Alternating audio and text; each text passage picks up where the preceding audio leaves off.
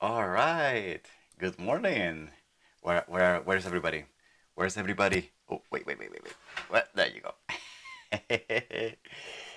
Ooh. All right. Can you guys hear? Sounds is good. Okay. All right. Good morning. oh, I'm so tired today. Oh my god, this is gonna be terrible. I went to bed really late. I was not a good boy last night. I went to bed late. I woke up super early. I am not going to be the brightest person today. Good morning, everyone. I see a lot of familiar faces.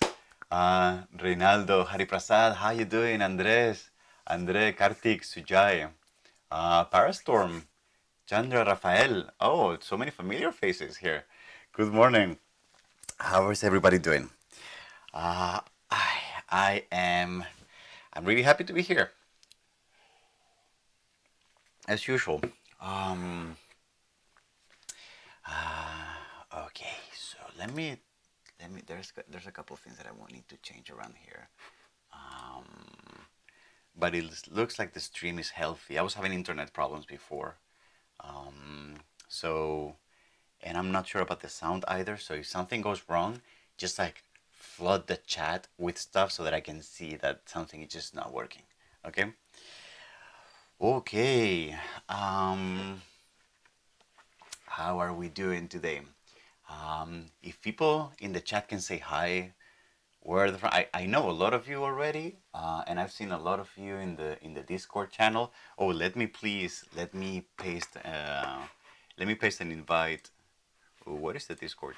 Um, yeah, here. Let me paste an invite. I think this invites expire. So I'm just gonna post another one um, in the chat in case you guys haven't joined the Discord. Um, I'm seeing a lot of people introducing themselves. I see some conversation happening uh, and some topic suggestions. I'm very happy about that. Um, we may we may want to do. Do you think making a channel that is just for the live stream? You think that would be useful? Because like, so that we can be chatting live while the stream is happening and I can see suggestions because the chat at the Discord is a bit nicer than the chat here on YouTube so you guys can post images, screenshots, um, things. Maybe that could be nice. I'm just not sure about like just because I have like 17 different things open right now here so I don't know it would be just like too much stuff going on and I wouldn't know where to look. Um, I don't know. I don't know. Just food for thought. Okay, so what are we doing today? Well, um, so, well, first of all, uh, as a reminder, oh, now, wait, wait, wait. Now, did I share with this with you guys? We now have a dedicated named uh, YouTube channel. So, um, so, um, uh, so now the the parametric camp channel is not this like really long and disgusting link. It's this thing here. It's youtube.com slash parametric camp. How nice is that, huh? so if you guys haven't subscribed yet, um, you're more than welcome to to go over and click and subscribe and all those things. Uh, because today we're going to be doing two streams. Um, we are streaming from my personal channel here in the morning at 10 p.m., 10 a.m. my time, Boston time. And then we will be streaming in the Parametric Camp channel in the afternoon at 2 p.m. my time, Boston time. Oh, I see a lot of people popping up in the in the Discord. Um, so, I, and people subscribing. Yeah, Reynaldo, I think I just saw you there. You just you just joined the Discord, huh? uh, okay. What is this? Jaime, what is this? What is this no bullshit guides to math and linear algebra? Is that a book? Is that good? Um, is that a Is that a YouTube playlist? What is that? I would I would want to check that out. Maybe it's interesting for us, and maybe it's interesting for my teaching in school. Um, I don't know. And um, so yeah, so two streams this morning, and then in the afternoon at two p.m. Um, um, and what are we doing today? In the morning, I'm going to continue with the algorithmic modeling challenge that we did last week, where we were modeling the Le, Le Umbracle. So this is a Calatrava building, that's a canopy in Valencia in Spain. We did it last week, we did it in plain vanilla grasshopper. So it's my hope to, to do like a second part of that video today where I model this the exact same thing, but we do it purely in C sharp scripting within Grasshopper. So, um, so that we learn. Again, I like doing these things where we model something in Grasshopper and we just model the same thing using C sharp because like the geometry logics are the same, but the techniques are very different sometimes. And I think that translation is really good for folks who are trying to improve their skills and who are trying to like move from from visual programming languages to uh, geometry computation manually. So I think it's a really good it's a really good thing. Um, and in the afternoon, I was going to start with the again.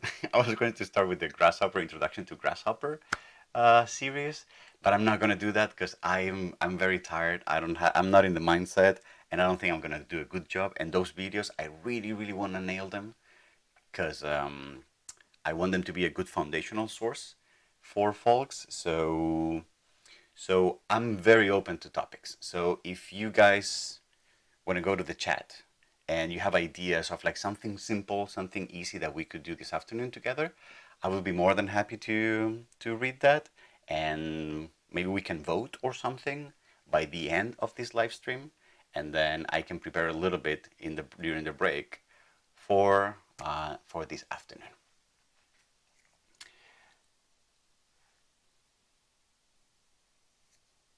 Uh, so uh, they are books, okay. Rodolfo is suggesting uh, Rajaa Issa's Essential Mathematics for Computational Design. That's a really, really good resource. I very highly recommend it. I met Rajaa at a conference this year. She's a wonderful person. I'm a huge fan of her work.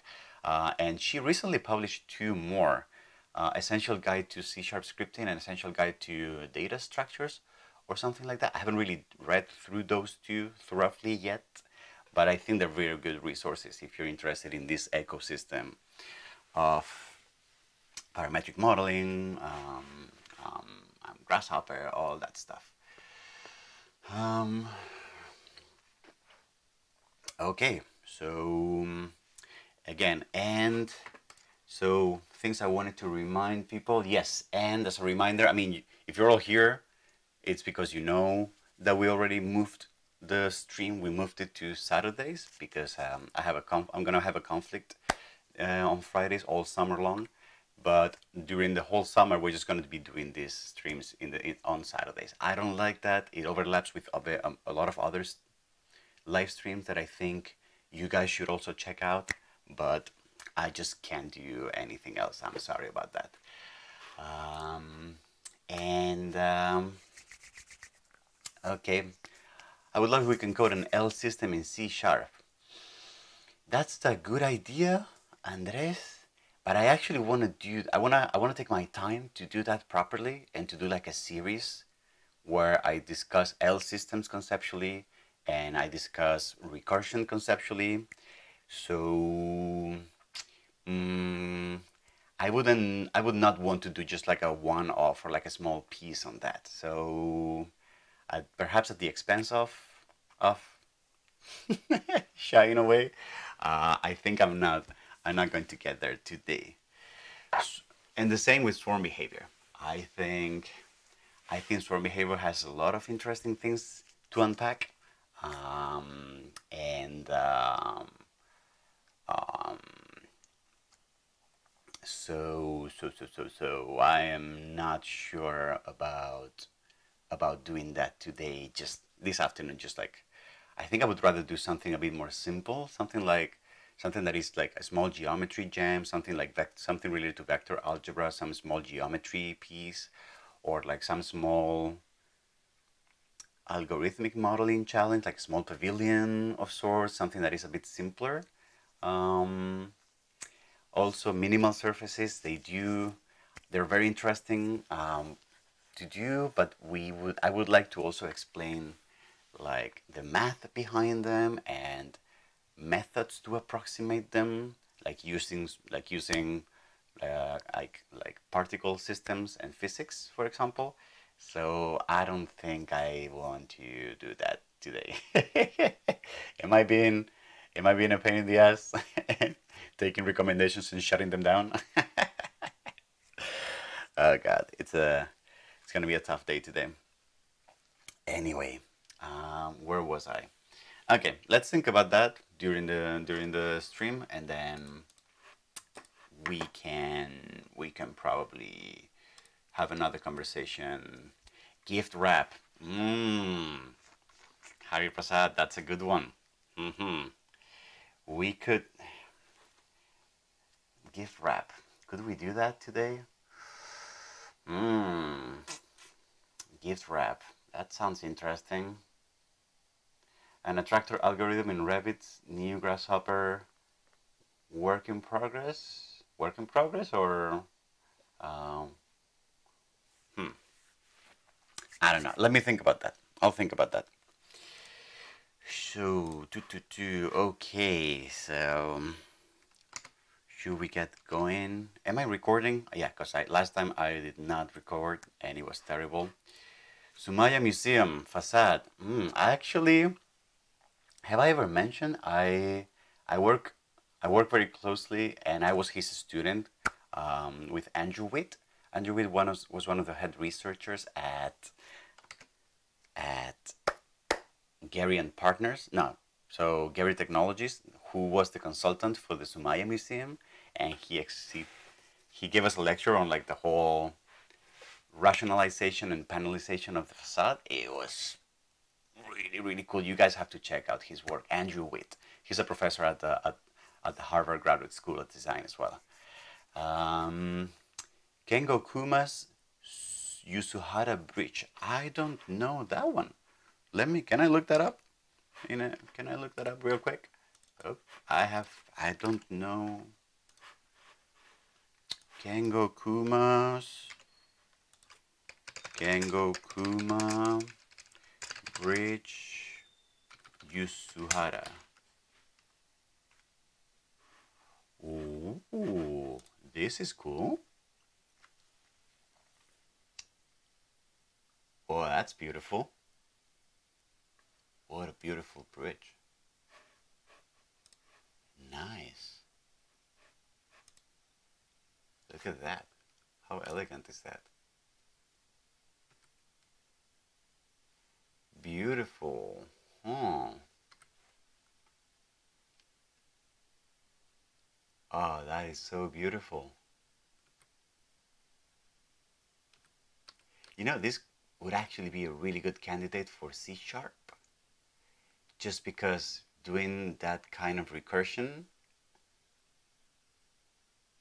of elements is really easy to do with a for loop as opposed to doing it in Grasshopper, for example, that requires a bit more.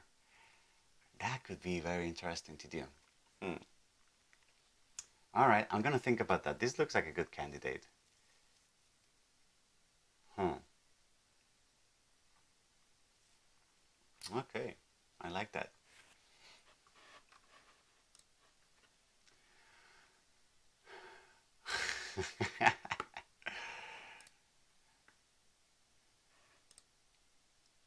Where is this? Yusuhara, which I guess is in Japan. Where in Japan is this? I've never been to Japan. Is anybody from Japan? I've never been there. I'm dying to go. Oh, it's in an island. Hmm. It's in the south. Oh, nice.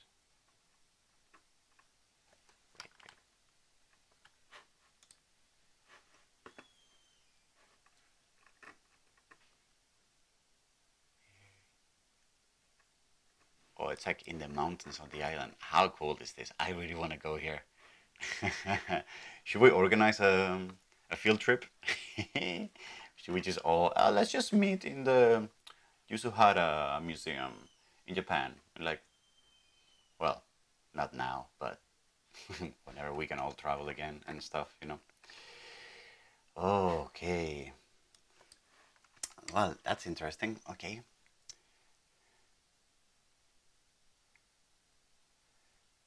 It's a pretty comprehensive guide to design to fabrication process. Parametric Camp study tour. I love that idea. Let's organize a field trip and let's just visit like cool geometry um, buildings in the world uh, and like nerd out and code together. that sounds really cool. That sounds totally my jam. Okay, shall we get going? Because otherwise, otherwise we're never gonna. Um, okay, so let me set this up a little bit. So if you remember last week, we made. Let me let me look that up. Let me just come up with. Uh, mm -hmm. Some images. Yeah, this this look good. Okay, so.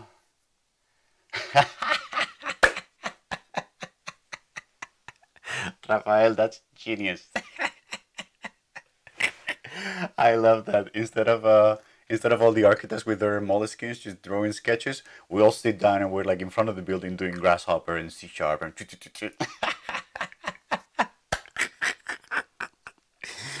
that is so funny. That would be awesome. People would be like, "What is wrong with these people? Who are these people?" Why are they here with the laptops in the middle of nowhere? hey, Merit, good morning. How you doing? I, uh, I love that idea. Let's do it. Let's organize it for, for I don't know what for 2023. I don't know when are we going to be able to do that anyway.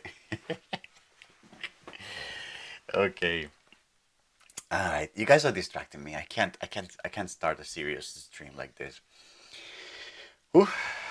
Okay um, let me set up my mind a little bit. So we're gonna do this, and we're gonna do it in in in in C sharp scripting, which means I probably want to start the video. I will do the introduction at the very end, but I probably want to start the the video by um, by showing the definition that we did for last year, and I'm gonna use WatchTech. I I saw you here, WatchTech. Yes, you're here. Yeah.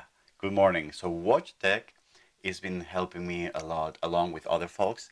They've been helping me to take the files that I code while in the, stream and then they take those files and they clean them up and they group things and they add comments and they make it more readable and that's the file that we publish on the github repo for for those of you who look at the um, who look at the files later so can we give can we give watch WatchTech uh, like a like a clap and applause for for for his help in the channel.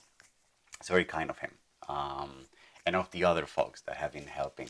I see Hari Prasad. He's also been helping a lot on that front. Um, so I'm giving you guys an applause from here.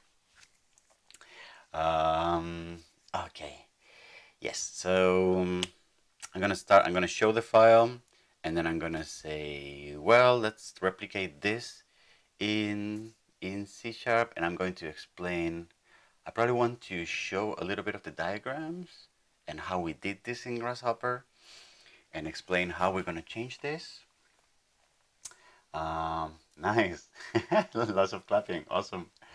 Um, and um, and then I guess we can just get started. I, I guess.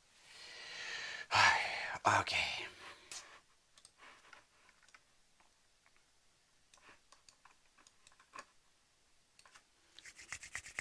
Mm -hmm. Okay, so we probably want to start here. Um, and I don't need to explain how we did this again. People people should probably just go to the previous video and check it out, right? Hmm. Okay.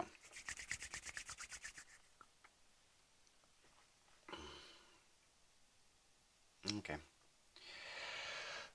I am not ready for this today.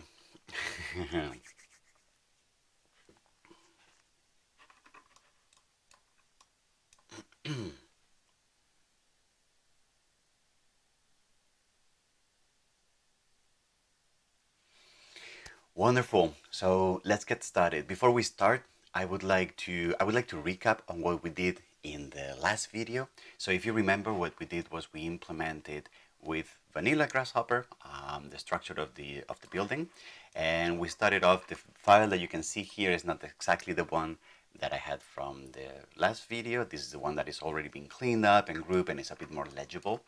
Um, and uh, here we started with a bunch of parameters.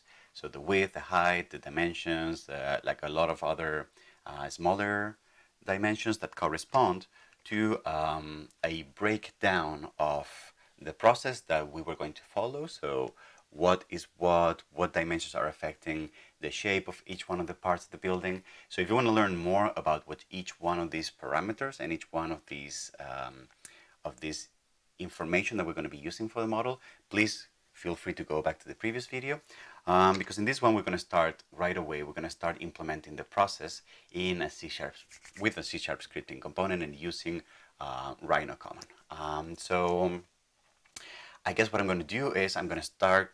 I'm going to place a C sharp script component here, and I'm going to start changing all the inputs so that we mirror um, what we have here in the in the um, in the parameters. So I'm going to start. Um, I'm going to do this manually. So if you want to fast forward, or so I'm just going to do. I'm going to be like, this is going to be the width. This is going to be the height, and then I'm going to start adding more parameters here. Like a lot of them. This is going to be a big component. So this is going to be D, this is going to be H1, this is going to be H2, this is going to be the offset, offset, this is going to be the number of ribs, and remember that here you cannot, in the input parameters, you shouldn't be using, um, you shouldn't be using white spaces, and that is also in C Sharp, is a convention that variables start with the variables are named in camel casing. So first letter is always lowercase and then any consecutive word is uppercase. But here in the inside of the grasshopper world, things change a little bit because like we usually use like one letter denominations for variables, for input variables, which is not great practice in general when you're writing real production C sharp programs, but uh, whatever. So for example, here lowercase w and uppercase w in a program, in a real program, could lead to a lot of confusion. It's not great practice, but we're just going to do that for the sake of mirroring what we did in the previous video. Um, so md2, uh, mw, and if you need to refresh yourself about what these parameters were, feel free to check the previous the previous video that is probably linked somewhere here in the description, etc, etc. Okay, and I'm gonna go back and I'm gonna start setting what kind of values, what kind of types are each one of these. So, um, so for example, uh, so for example, W is going to be a double. They're mostly going to be doubles. So uh, D is also going to be a double. They're all going to be doubles except for, for example, the number of ribs. And so number of ribs is going to be an integer because we don't have decimal part. Number of spans is also going to be an integer. And then the rest, all of these are going to be are going to be doubles. So here, here, here, double, MD1, double, MD2, double, MW is double and pipe radius is double. And if we double click here, we can see that we have a really large uh, double, double, double, all the parameters are now the inputs for the function, and I can see that all of them are doubles, exactly, and I have one output, which is A. But I forget exactly what I did, so I'm just going to start adding outputs as we start programming this component, okay? So, okay, so now that we have our platform, we have our C Sharp script component, I think we are ready. I'm just gonna plug everything in now. Um, I'm gonna start plugging everything in here. Number of ribs, number of spans, uh, dimensions D1 and D2. Now MD1 and MD2, the width, and the radius of the pipes. Okay, and I think we're ready to go here. So I'm just going to turn off the rest of what I had here and I'm gonna start working. Oh, I need the, sorry, the base point. Ah, I forgot about that. Yes.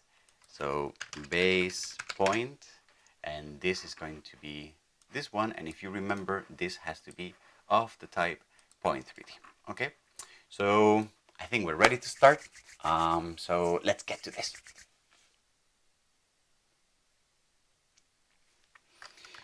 Okay, let me save this file somewhere. Uh, what are we?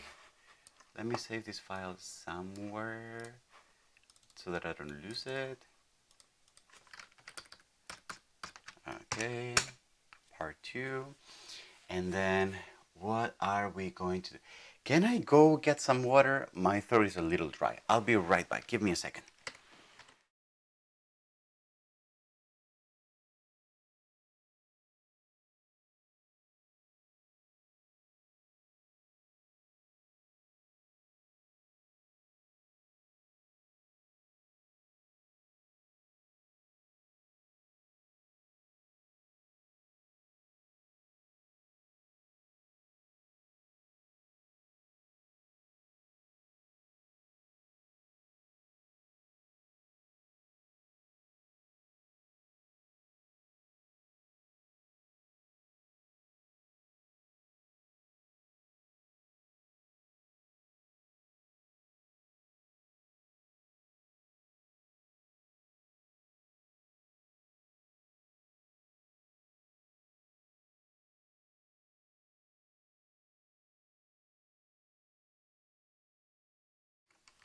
Okay, I'm back.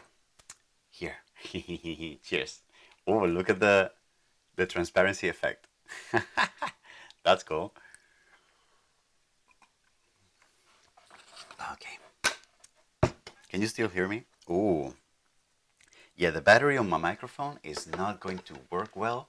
So um, if I stop having sound, just please let me know. Just post real a lot on the on the chat, please. Okay, where were we?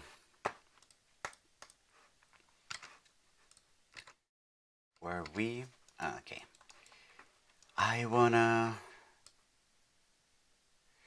So, do I wanna keep everything here? It's gonna get messy. I'm just gonna move things to the back. I'm just gonna move things to the back so that I can keep at least like sound a clear view here. Ah, okay. And what was the first thing that we did? I totally forgot what we did last week. So the first thing was we created the arch, right? And then we replicated the arch on the side. And then and then what did we do? And then we created the arch in the middle and then we subdivided everything. We created the lines so the ribs and um, we created the ribs and um, what else did we do? It would be super nice if instead of just outputting a list of everything we outputted data trees so that each module it's on its own data tree. So we have a branch per, we have one branch per, um, per element or per family of elements. So for example, we have a branch, we have a data tree that has like each one of the, um, each one of the main arches. We have a data tree that has each one of the middle arches in the center we have a data tree that has these ribs, these ribs. That would be really cool, actually. Is, is this going to be an overkill for this? Um, well, I mean, if we're doing, I guess if we're doing C sharp, that's kind of what we want to do. We want to be nice and clean, right? Hmm. Maybe we can just do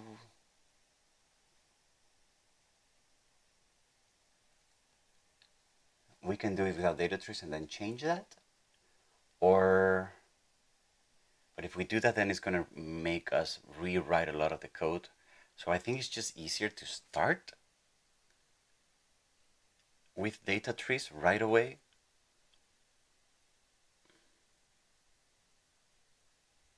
I think it's just easier to start with data trees right away because otherwise otherwise it's going to require a lot of rewriting. So that's actually not a bad idea. I think we should do that.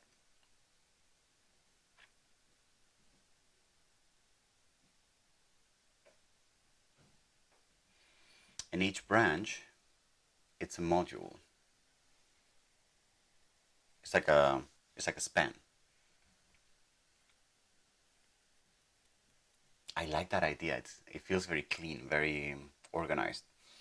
Mm, okay, so I guess that's what we're doing. Well, but then if each branch is a span, so if each branch has like all the, I can see that very easily for the arch in the middle and for the ribs, but then what happens with the arches on the sides? Do we duplicate them? That doesn't, that doesn't sound very clean to me. Well, maybe the arches, maybe the arches on the sides, they just follow like a different pattern. They just follow a different pattern because if we have five spans, we're going to have six arches. So those are just the ones that are like, there's an offset with them. Yeah, I guess that's what, that's what because if we have one, if we ended up, if, if we made just one span, so we would have a data tree with one branch, which is all the stuff in the inside of the span, and but then we have another data tree with two branches, one for each arch. Yeah, so that's that's fine. That's I guess that's what it is. It is it is what it is. That's what we have, you know. Um, but definitely that's a, that's much cleaner than doing it with. Uh, just like just outputting everything flat without any structure. I don't like that. Huh? Okay, so we're doing, yes, we're doing data trees, guys. Are you ready for that? it's gonna happen. So we're gonna learn something today, if you're not familiar with data trees. Okay, ha ha ha. Which means I probably want to start doing all the arches and outputting them as a data tree and then we get that off the table so that we know so that we know how to do that. And then the so I spend a bit more time explaining that first like the data tree logic and then we can just keep going with the rest of the geometry without talking too much about that. Dude Rafael you're on fire today man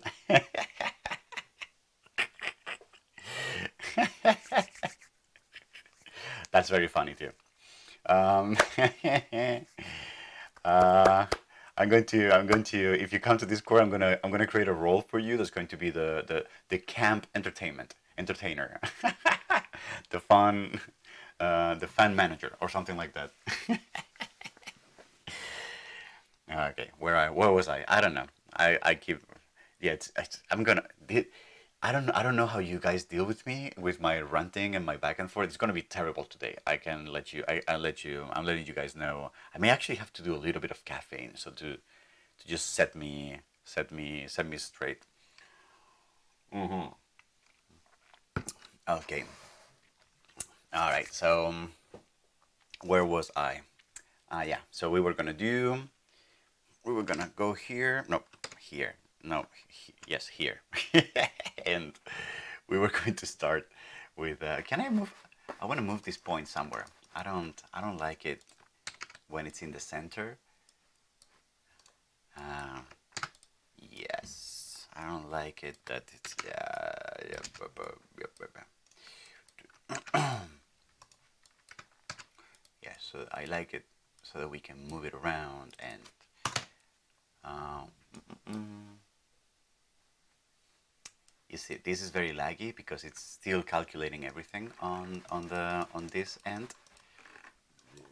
Let me turn these components off. No these ones. These are the ones that are a little heavier. Let me turn this off. Um, and um, that's probably going to make things a bit more lightweight. Yeah, I don't know if you guys know, but display components are very heavy in Grasshopper just because they have to take the, all the NURBS geometry and turn it into meshes so that they can be rendered by the graphics processor. So when you have a lot of NURBS geometry, it just takes a while. Um,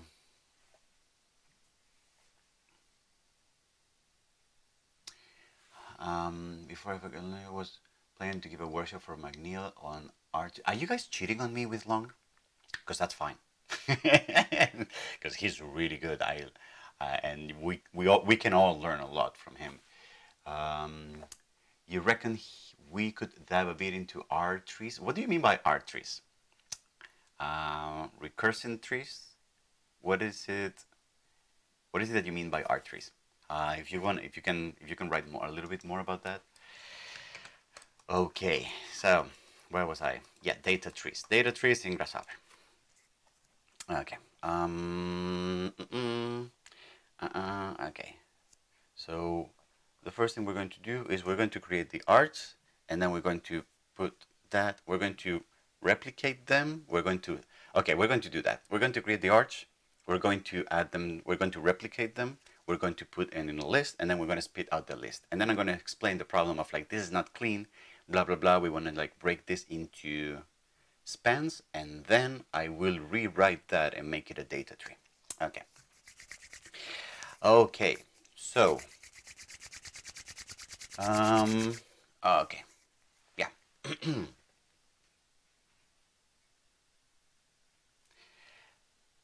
So the first thing we're going to do um, is just like we did in the previous video. The first thing we're going to start is by we're going to start by taking the base point, which is somewhere there, and we're going to create the three points in the top and uh, and here this one and the other one top. We're going to create the arch, and then we're going to replicate it however many spans we have in the definition, and then we're going to pack all of that into a list, and we're going to spit it out from from the component. So that is going to be here. So I'm going to double click here and I'm going to start by taking the base point here uh, and creating, like we have in the diagram, creating two other points and then creating an, an interpolated curve through them. So we're going to do that here by saying, um, and I'm going to add a lot of comments because it's going to be a long code, so we want to keep things tidy create the first arch. I'm going to do this a lot. I think I'm going to write very long names because it's going to get messy. Um, and, um, and we're going to say this is going to be base point. Is going to be the same point. How are we going to do this? I'm going to get a new point. I'm going to create a new point 3D, which is going to be equal to the coordinates of base point x in the x direction that's the same coordinate. In the y direction is going to be y plus half the width of the span. So, so that's going to be base point y plus the half of the span, so 0.5 times the width of the arch. And then um, on top is going to be the z of the base point plus capital H. So that's going to be base point z plus capital H. Okay? And then similarly, I'm going to create the other point, the one that's the other base of the point. Um, and I'm going to do something similar. Be careful with copy pasting. I keep saying this all the time. I should not be doing it myself. Arch top point, art up, arch base base two point, for example. These are terrible names I'm coming up with. So this is going to be full width, and this is going to be the exact same height. Okay? So now that we have the two points, let's create an interpolated curve that is going to go through them.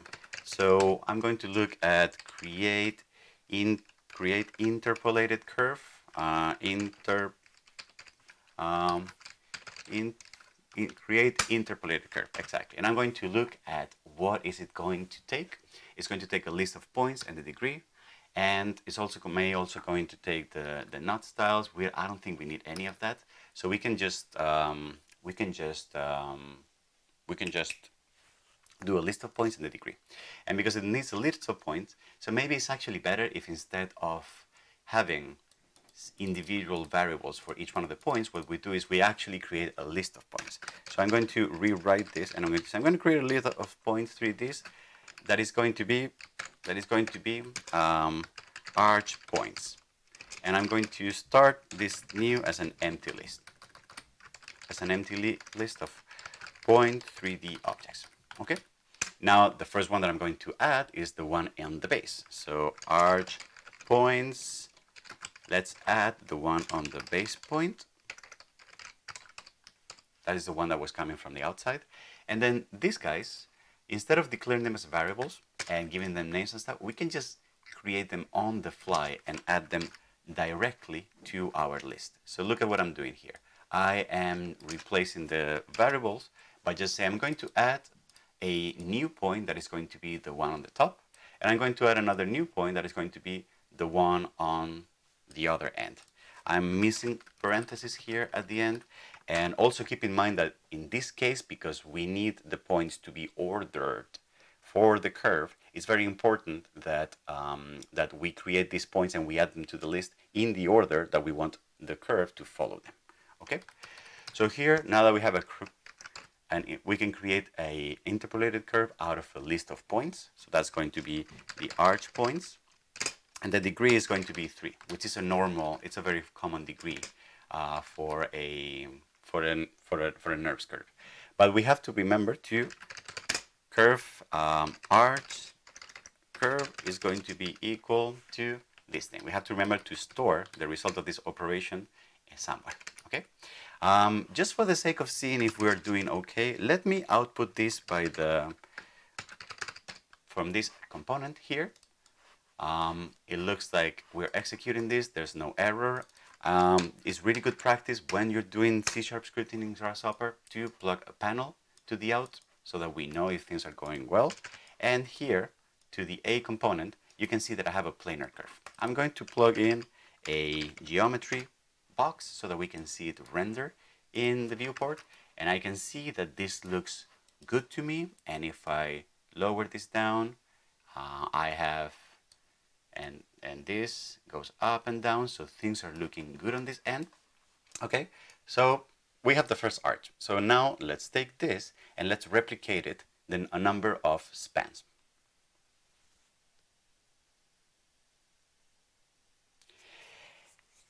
And I need to take a look at how to do that because this is not going to be as as in Grasshopper but because of the logic of C-sharp scripting I'm going to need to clone them and move them I think so let me take a look at that um, is there a way to stop Grasshopper from auto-completing I know I know it drives me mad as well but I don't think I don't I think the the C-sharp scripting IDE is just is just what it is um, it's still it's still a work in progress or it's part of like the development. I don't know, but it's yeah, it's pretty annoying.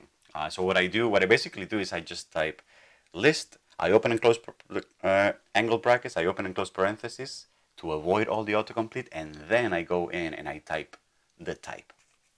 That's that's my that's my workaround at that around that problem.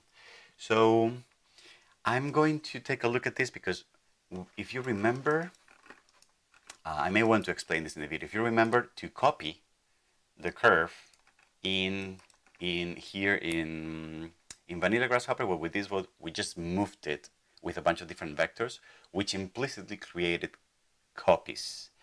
Um, but in C sharp, we're not going to be able to do that because if we move an arch, we're actually moving the arch. We're not creating a copy that is displaced from the original one. So we actually have to, I believe we may, will have to clone the curve a bunch of times and then each one of them move them. Um, so let me try that first and then we get into the video. Um, so can I, can I clone? Can I clone or copy? Ensure private copy, duplicate. Can I duplicate? Construct an exact duplicate of this curve.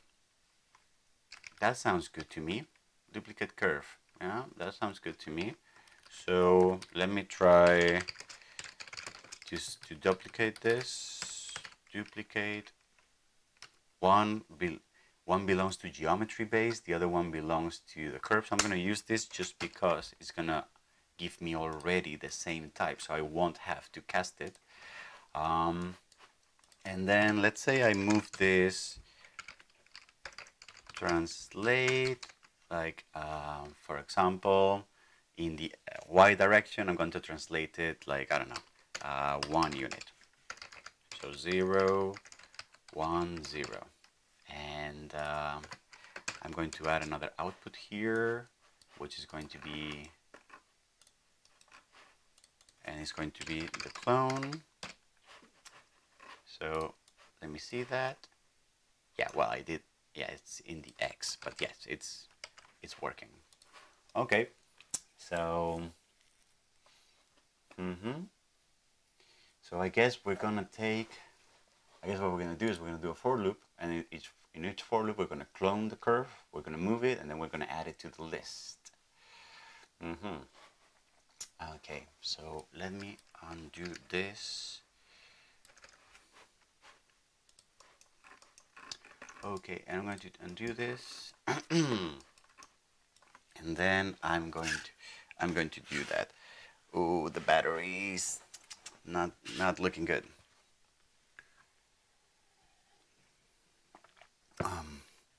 Something is wrong with my YouTube streaming today, and it just tells me that I have zero concurrent viewers. Is anybody there? are you guys there? Because it just it's just not updating how many concurrent viewers are in the in the thing. Uh, so if you're alive and you can say hi, that would be good because it makes me feel lonely, you know. Okay. So where was I? Yes, we were going to now create a list of. Um, yeah, I want to explain that the concept here is a little different than than than uh, in regular. Thank you, Rafael. Than in regular vanilla grasshopper. Okay. Oh, Pixel Car, Luigi, how are you guys doing? I hadn't, I didn't know you were here. Uh, okay.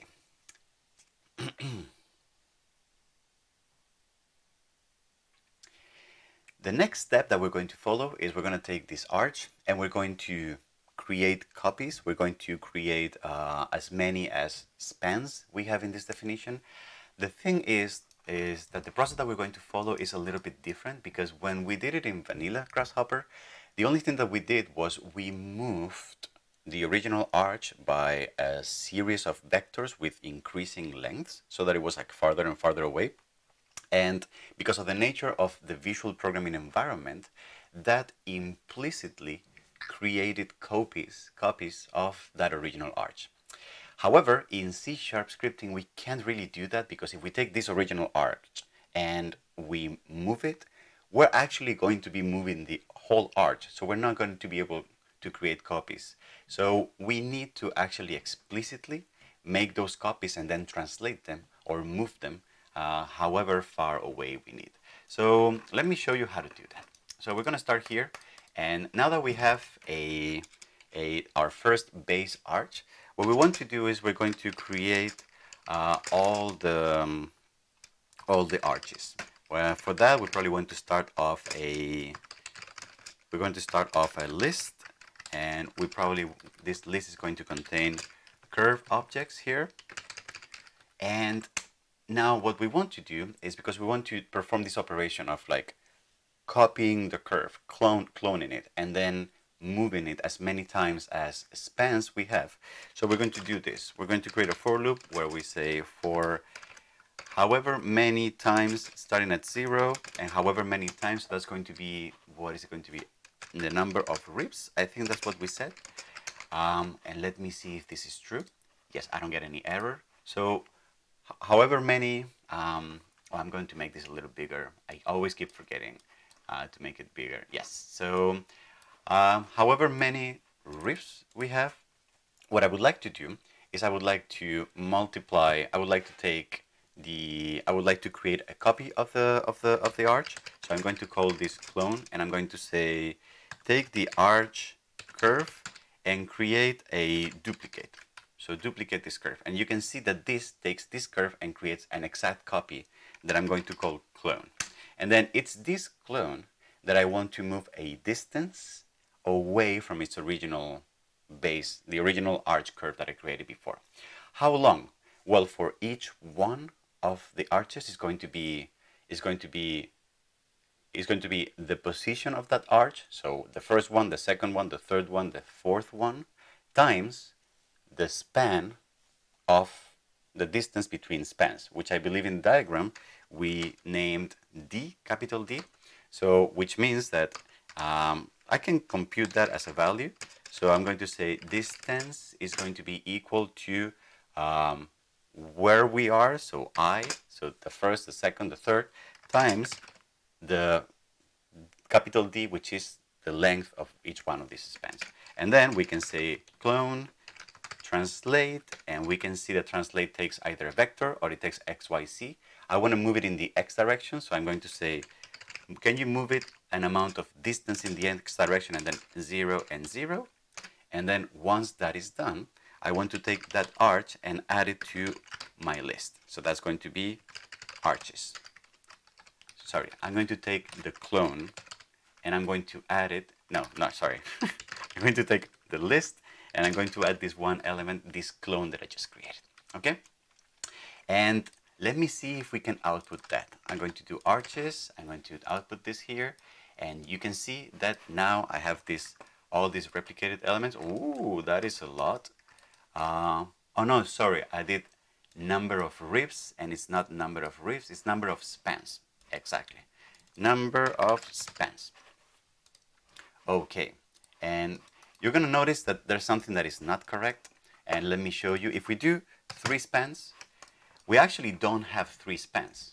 We have, here we have three arches, uh, which basically means we have two spans. And this is not entirely correct. It's not entirely correct because because we always have one additional for the in the case of the arches we have one additional arch uh, extra uh, on top of the number of spans uh, I made this sound very complicated but basically we have one more arch than spans so here I can just say plus one and then now that we have three spans we have four arches so now this makes sense okay and um, before I start doing anything else, I want to start being a bit cleaner about the outputs that I'm spitting out of this component. So what I'm going to start doing is I'm going to start creating uh, explicit outputs. So here, for example, this is going to be arch curves, which will be different than the arch surfaces. And I want this one to be um, to be the one that uh, is going to is going to is going to output for example, the arches. So what did I call this? Um, arch curves is going to be arches. I'm going to I'm going to output that. So that's going to be great, and that's working already here, all those planar curves. And something that I personally like to do is um, is is creating like one output that I use to just output geometry and like while I'm developing to see things working. So I'm going to call that here. i have been using A, for example. I'm going to call this the console, just because I, I do a lot of programming, and I, so I come from that world. Um, and the console is basically going to be this place where I'm temporarily just like outputting things so that I can see if they're working, whatever. And once they're done, once they're good, then I can output them on the right or the right output, which in this case, for example, was arch curves. Okay, so this one uh, I'm going to um, I'm going to pipe in here, and this one you can see that it's already coming out from the component. Okay, so good. The only thing that I would like to add is that you can see that because we created a list, um, all the elements, all the arches are coming out as in one flat list, so one after the other. And this is okay probably for the arches, it's probably okay for a lot of the other elements that we're going to be generating, but it may actually get messy when we get, for example, to the ribs, because then we're just basically going to, to output like a list of like hundreds of these ribs. And um, something that I would like to do for this exercise is to output a cleaner data structure, something that tells me per span which elements do I have. So what I would like to do is I would like to turn this output, which right now is a flat list, I would like to turn it into a data tree and each one of the branches containing each one of the arches. This will be a little redundant for um, for the arches and etc. But when we get to the ribs, it will actually be really helpful. So because I don't want to do it just for the ribs, I want the structure to be symmetrical across all the outputs. What we're going to do is for each one of the outputs, we're going to output them as data trees. And that's something that we're also going to be using just for the sake of learning. So, um, so let me, so let's get, let's get together to do that.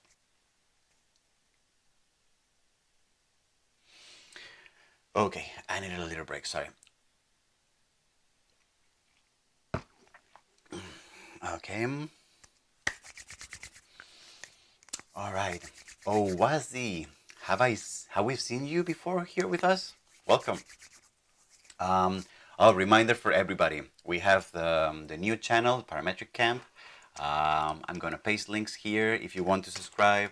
Uh, we're gonna be streaming this afternoon from this channel, and we will be eventually moving there and stopping from this channel. We have the Discord, which you can join and well, remember to go into the introductions and to say who you are, where you're coming from. And we have the bonfire where we tell computational design stories overnight, etc. We have camp mentors, camp managers. It's um, it's it's it's getting cool. It's becoming cool. All right, and I was going to transform this into a data, into a data, um, into a data tree. Okay.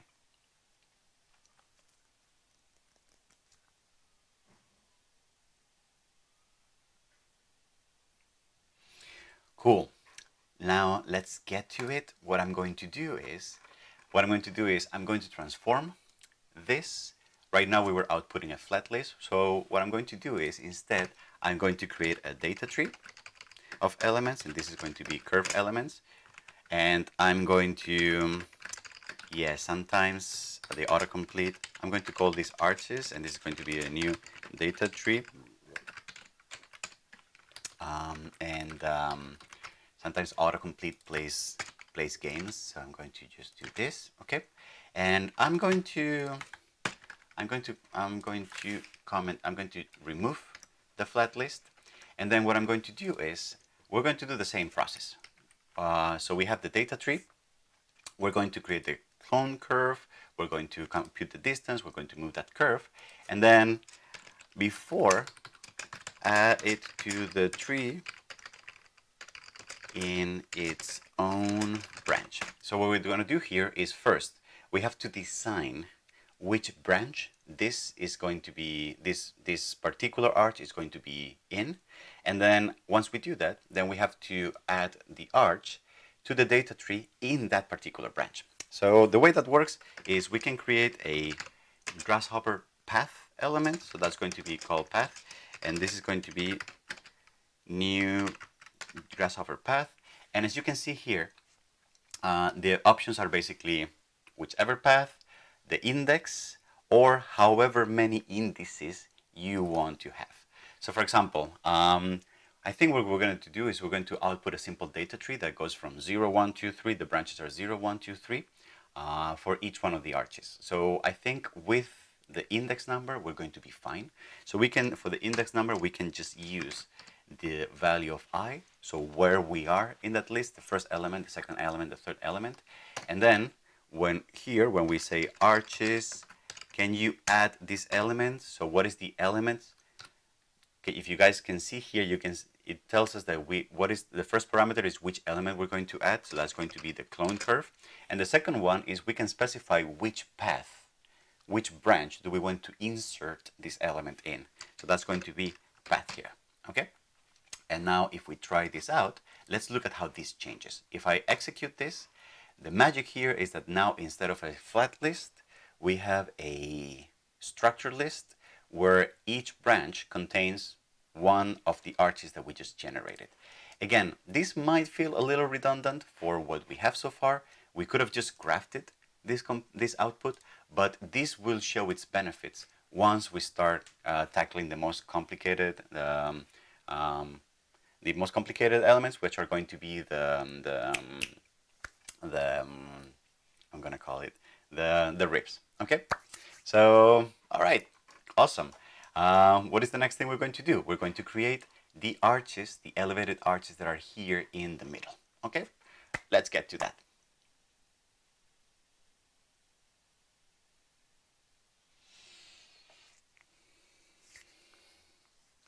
Uh, what do you mean? I hear you guys saying not live, I pause a lot. What does that mean? Not live either. I'm not sure what you guys mean. That you can't follow?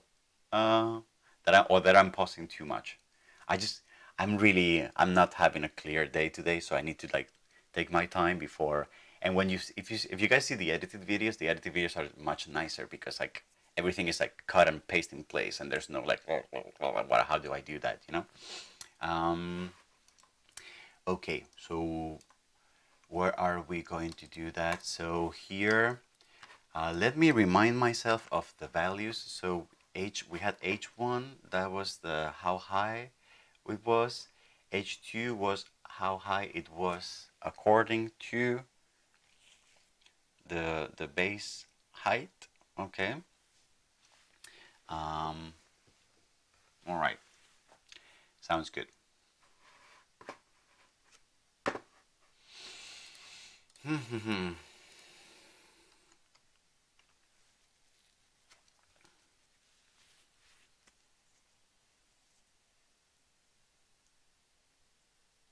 Just a quick refresher. Remember that uh, the parameters that we chose to name this were h1 was going to be how high was the starting point of the middle arch from the ground plane and then h2 was going to be how elevated was the top of the arch from the base main height. So basically the height of this point of the elevated would be capital H plus H2. Okay, so that's the logic we're going to follow here. So, so very similar. Let's do just like we did before. I'm going to create here, create middle, middle arches. So the first, I'm going to, the first thing that I'm going to do is I'm going to create one base arch and then I'm going to clone it like we did for, for the, for the ones in the, um, for the base arches. So I'm going to create a list of point 3D objects with ah, list of of the arches. I'm going to call middle arch points, and this is going to be a new list of point 3D objects. And I'm going to copy paste this here, and then um, for that one, I'm going to say I'm going to add here. I'm going to create a new point 3D, and let's break this down. The x coordinate is going to be the same x coordinate as the base point plus uh, half d. Okay, so um, this is going to be base point x plus 0.5 times d. Okay, now this the y is going to be whatever base point has for no y is going to be the same as yeah, sorry, in this direction, y is going to be the same as base point. So what I'm going to do is base point dot y, and then the z coordinate of this point is going to be whatever the z coordinate of the base point was plus h1. So that's going to be the here is going to be base point base point z plus h1, which is a parameter that's coming in from um, from the component. Okay, so that's the first point. The second point, I'm going to do some copy pasting here. Remember, copy pasting is super dangerous, so I'm going to fill in here manually so that I know that everything is correct. Um, so what is going to be the x coordinate? The x coordinate is going to be like we had before, is going to be equal to whatever base point is. Um, no, it's going to be, the x coordinate is going to be the same as the point that we just did. So that's going to be uh, base point x plus half d. Okay, that's one thing. Now, the y coordinate, what is the y coordinate going to be? y coordinate is going to be equal to the coordinate of base point plus halfway through the width of the arch. So that's going to be base point dot y plus 0.5 times the width of the arch. And then z, which is the tricky one, is going to be equal to whatever base point has for a height plus the height of the arch, so capital H, plus the additional height, which is H2. So as we do that, um, it's going to be base point, base point 3, base point dot z plus h plus h2. Ah, wait, wait, wait, wait. What's going on? oh, okay, h2. I think we're good. Um, when lines get too long, sometimes it's uh, it's common practice to break them down like this, and uh, so this is a common thing. This makes things makes code a bit more readable. So maybe we want to do this for all of them, and then the third point is going to be the point on the other end. So this one, uh, we can probably do. I can probably do a little bit of copy pasting here and filling in the blanks. So here I'm going to say base point x is going to be equal, what is x going to be? x is going to be equal to, the x coordinate is going to be the same as the other, all the other points. So that's going to be this, that's going to remain the same. Y is going to be equal to whatever the base plus the full width of the arch. And then base point z is going to be equal to, uh, the z of this point is going to be equal to the base point plus h1. So the same as the initial point. Okay. Um, and then now let's see if we can create curve. This is going to be arch middle curve. And then I'm going to create an interpolated curve through the middle arch points. And I'm going to spit out in the console. Remember the console is just this, um, this fake output that we're using just for debugging and for development we're going to output this, not the middle arch points. You see, this is arch middle curve. And as we do this, I'm going to run this, and you can see that I have here, I have the arch, and it looks like if I have a view from the right, these are aligned, these are aligned. If H0 is 0, then there's no over anything here. If this is zero, then the points are also on the ground. So I think that makes sense, and I think this looks good to me. Okay, so let's keep working on this. So now we have the middle arches, and what we want to do is we want to do the same thing we just did before. We want to create a data tree, and we want to add, for each one of these spans, we want to create a clone, we want to translate that clone and we want to add it to the branch. I'm going to write this manually. Data tree, um, well, maybe not so manually. I'm going to copy paste a little bit. Data tree, um, middle arches is going to be blah, blah, blah. And then I'm going to create a new for loop. What I'm saying, this is going to be equal to zero. I is going to be less than the number of spans. And this is just going to be the number of spans because we have the same amount of middle arches as the same amount of spans. So here we're good. I plus plus, and then um, and then as we do that, um, as we do that, then we're going to say I'm going to clone the curve. That's going to be middle arch, arch middle curve, uh, duplicate, duplicate curve. Okay, and then I'm going to calculate the distance. Lower uh, distance is going to be i times d, capital D. and then I'm going to take the clone and translate it that distance in the x direction so that's going to be distance 0 and 0 and now we're going to add it to the path. So we're basically going to copy and paste here.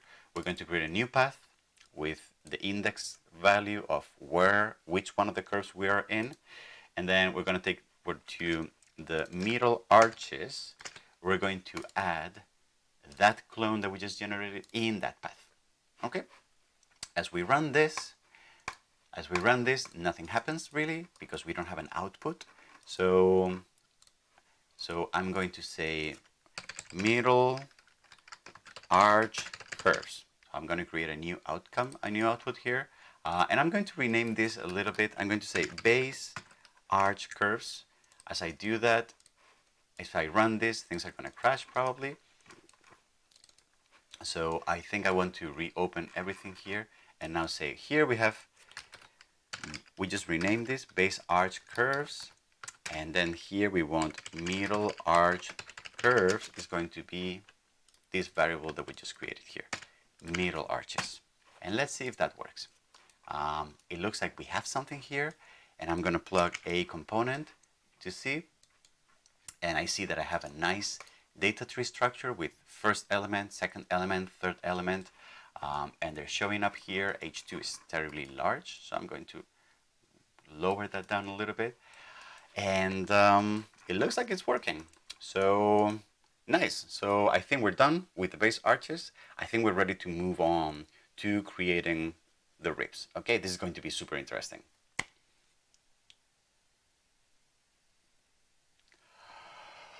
Ooh. All right. You guys still there? Still zero people. Concurrent viewers. Mm-hmm. Okay, so the ribs. How did we do this before? We created a, we found, I remember we, we did this like shattering thing, but uh, that was not great. And we found that there was like a curve subdivide. Um, mm -mm -mm. Maybe that's going to be more helpful here for us today. Uh, subcurve. Exactly. Subcurve. Subcurve. Can we do subcurve in Rhino Common? Is there such a thing? Let me look that up. Rhino Common. Subcurve. Curve class, get length. Um, let's see if there is something. So let's look at the curve class here and let's see what we can find that could be useful for us. So it has the degree dimension that gets the domain. So we're going to need this to figure out uh, the domain of the curve. Um, change dimension, close curve, close point, closest points, component, construct object, contains, create, blend, curve, blend, create boolean. All of these are static methods. Create fillet, interpolate the curve, means, outline, tween curves curvature divide by contour divide by length divide by count divide equidistance calculate 3D points on a curve where the linear distance between the points is equal.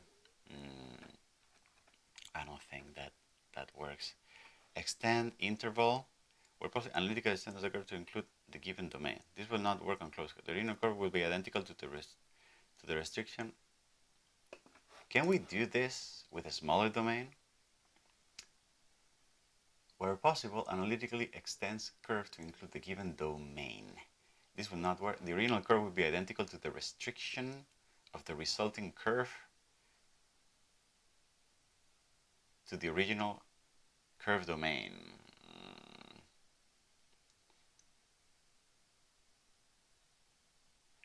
Uh, uh, uh, um, maybe we can try this one because it's called extend, but extend may also mean that we can reduce. If the domain is smaller, then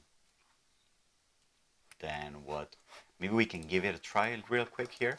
So, okay, so in the console, let me output the arch middle curve. Let me turn everything off. So we have the arch middle curve, okay? And um, let me print on the on the out let me print arch middle curve dot domain to string. Let me print that. So here the curve has a domain from 0 to 2 okay? So what that means is what if I take arch middle okay. Arch middle curve dot extend. And here where possibly analytic extends curve to include the given domain. This will not work the start of the extension. If the start is not inside the domain of this curve an attempt will be made to ah so we can use this. So let's say I reduce this to 0.5 and 1.75 for example. And I guess extend returns a copy of that curve no it returns yeah, the curve on success, null on failure. So I'm going to say curve reduced is going to be equal to, and this, I'm going to just do 0.1 and like something very large so that we can see how it's asymmetrical and then reduced. Uh-huh, and it's not working. It, why is it not working? Um, do I have anything in here? Null. Okay, so that did not work. So what if the domain is a little larger? Can it only extend? Is that what it is? Planar curve? And it's a bigger...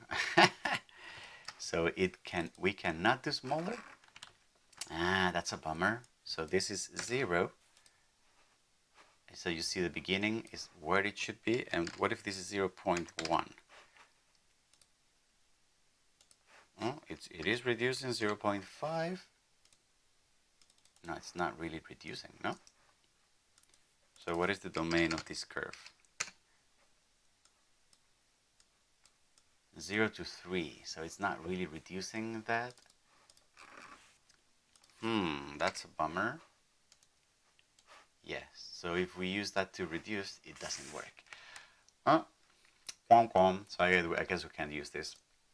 Rafael, you're right. Um, data trees have I, data trees have to be of the exact same type.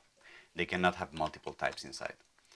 Um, unless, for example, the you're using geometry base.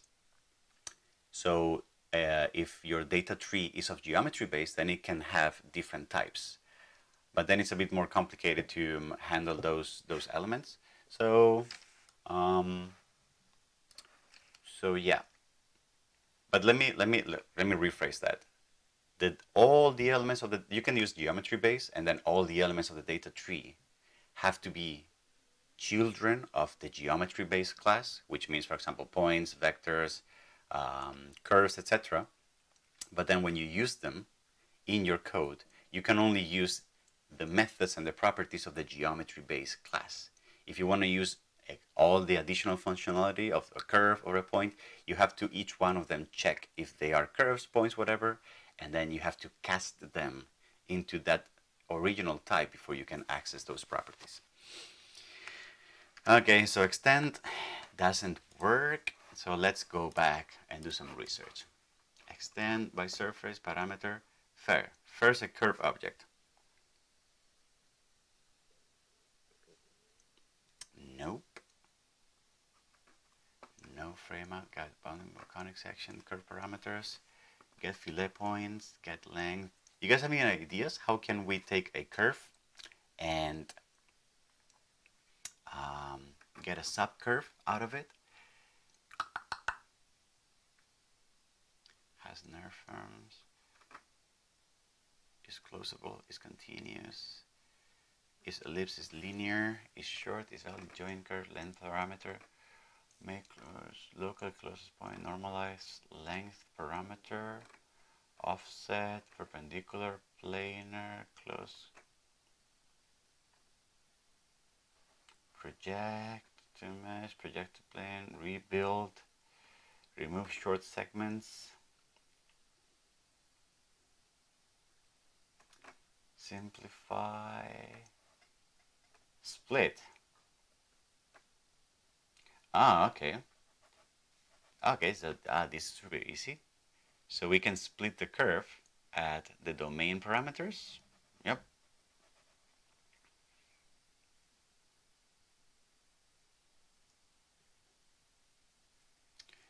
Yeah, Rodolfo, that's what we're looking at. We're trying to figure out how to do subcurve, um, but in, in native Rhino Common. I think it's going to be with split. That's I, uh, that's super easy. So for example, yeah. So let's say we take, what were we doing? Um, curve, reduce, and then we take middle arches, and then we split. Oh no, sorry, arch, middle, curve dot split, and then here we need to pass either uh, t or a bunch of t's BRF cutter, data, surface cutter, no.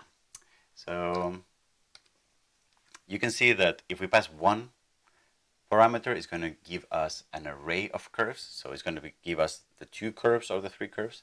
If we pass uh, a list of new list of double objects, and then we initialize this to, for example, 0.5 and 1.5 and this is going to be an array. Okay and we're going to output this to the console. Reduce uh, if we do this does this work? Yes. And you see how we have three curves. One that goes from 0 to 0.5 another one from 0 to 0.5 so if we bake this this is actually three curves.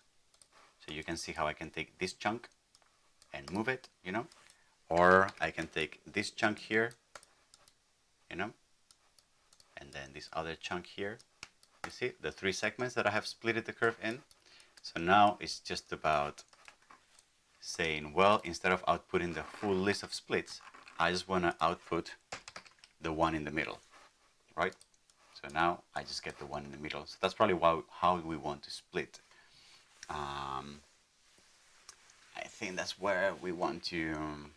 Mm -hmm. Can we do curve-to-curve -curve intersection? We can do that. Um, but in this case, it's not going to be worth it. What we're going to do is we're going to chop the um, we're going to chop the curve by we're going to chop the curve by a plane.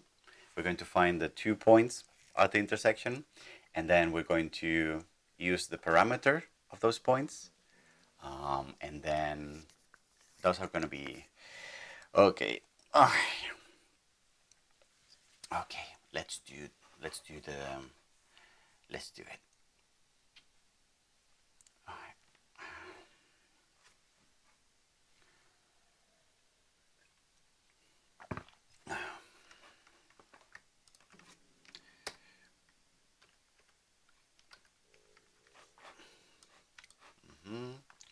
So how are we going to do this? So that it's clear. How are we going to do this so that it's a bit clearer? Oh, let me save this before I... Okay. Mm -hmm. How are we going to do this? We're going to do it. I'm going to, shall we do the subdivision first? And we're going to, we're going to explain the subdivision first, splitting the curve. And then we're going to do the plane cutting because we're going to say, oh, we need the parameters, but we don't know which those parameters are. So we need to find them through the intersection with the plane, and then we use those as I think that's a better way to explain it. It's going to be easier to understand. than if we just start with the plane, we start with the cutting, and then we split the curve into that. So this is something I like doing a lot. I like like doing the simpler version and then backtracking to creating the more complicated. Sometimes the most complicated part is preparing the data that you need for an operation, which like here. Um, so so let's do that.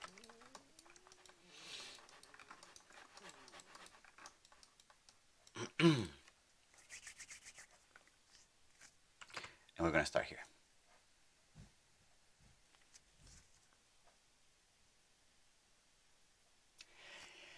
If you remember from the previous video, the way we did the ribs was by defining this variable called offset, and offset was the vertical distance at which the ribs started and from the main arches, okay? And then we only need to do this for the main arches because the ribs started right at the beginning of the middle arches as well. So is this offset, is this distance that we need to compute. And um, if you remember from the last video, what we did was we created a horizontal plane at that distance. We computed the intersection of that plane um, with the main arch. And then we found the parameters at that at, at, at those intersection points so that we could create subdivisions of the subcurve that starts in those offsets and then join those with the subdivisions of the main arch. So we're going to follow a very similar process. So what I'm going to explain first is how to split the main arch given the parameters. And then after that, we're going to find what are the parameter values that we actually need based on that intersection. Okay, so the way we're going to do that is I'm going to go here and I'm going to say, first of all, I'm going to, what I need to work with is with the main arch. And that was, we called it before, it was arch curve. And then what I need to do is here, I need to say, let's compute the, um, let's compute the sub curve for main arch. Okay. So what I'm going to say is here, if you go to, we were looking at this before on the on the um, on the on the on the stream. So the curve class in Rhino Common has a method called split and what split does is that it divides that curve at a specified parameter. And remember, parameter is this value that goes from usually zero to some other number, which represents how far along in the curve we are. Um, but it's not Euclidean in a in a in a NURBS kind of polynomial way. And then what this what this method does is given a one single parameter, it returns an array of curves which are divided from that one parameter. We have another version of this, of this which is given a list of parameters. So given a list of different parameters, it returns the chopped curve. It returns an array of curves, chopping the original one in those parameter points. So I think this is a pretty good one that we're going to use. So what I'm going to say here is I'm going to create a list of doubles. Um, um, I'm going to call this uh, splitting parameters and this is going to be equal to um, a new list of double objects and to this I'm going to add for example I'm going to add two dummy variables I'm going to add for example the value of 0.2 and I'm going to add the value of, um, I believe the curve that we just generated goes from 0 to 2 as a domain. So I'm going to divide it at 0 0.2 and at 1.25. Um, oh, and I forgot, yes, sorry, I forgot to change. Um, and then, so I was here, what I was saying is I'm going to take this, um, I'm going to, yes, so I'm going to I'm going to create a list called splitting parameters of doubles, and then I'm going to add two dummy values, 0.2 and 1.25. Okay, and then I'm going to take the the the base arch curve here, and I'm going to split it. I'm going to split it by using this list of parameter values that I just, it's just a dummy one that I'm creating for the sake of explaining the concept. And if you remember, split returns an array of curves. So you can see here, um, splits is going to be this one. It's going to be the return of this function. And just for the sake of visualize, visualizing, I'm going to output this array of splits to the console output, the one that we're using just for debugging. I'm going to turn off the visualization of the main component, and you can see that we have one curve, okay? Uh, it looks like one curve, but actually internally is here. It's actually three curves that look so continuous because it just splits, right? And if I actually place here a domain component, we can see that for each one of those curves, the domain is 0 to 0.2 because the original curve went from 0 to 2. So 0 to 0.2, 0.2 to 1.5, it would probably be somewhere here, and then 1.5 to 2. So if I bake these curves, you can see now that I have this one here. You can see that I have this one here. You can see that I have the other one here. And you can see that I have the other extreme here. So these are the three curves that I have split. Okay? So this is great. And then what I want is, what I would like to do is, I would like to split the main arch into three curves, splitting it at some parameter here that is calculated based on that offset distance. And then only keep the one in the middle. Okay? So I can go back here and then right now what we are doing is we're just splitting the curve based on two random values that I just came up with but if we want to make this well according to the original design what we need to do now is we need to calculate for a given offset for a given vertical distance what is the parameter of the curve at that vertical distance from the ground and the way we're going to do that is by chopping the curve with a horizontal plane that is at that height. And then that intersection will give us the parameters at the curve that the intersection has been computed with. So let's try to do that.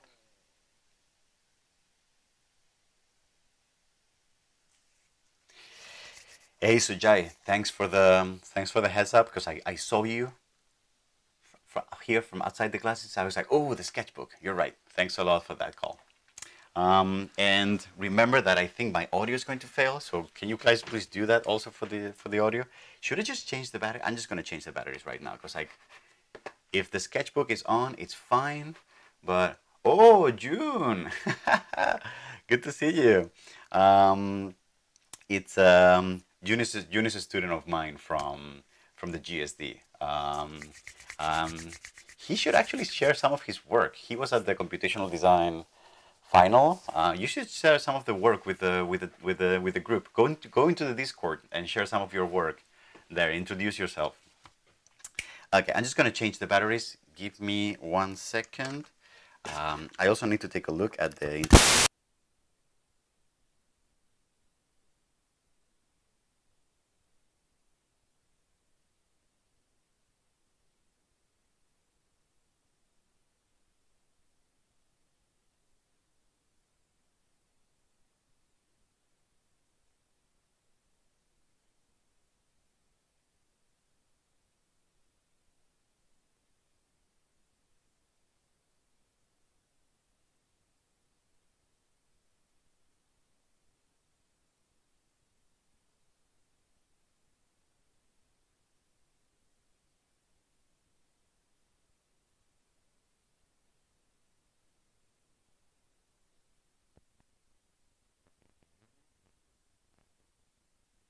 Wonderful.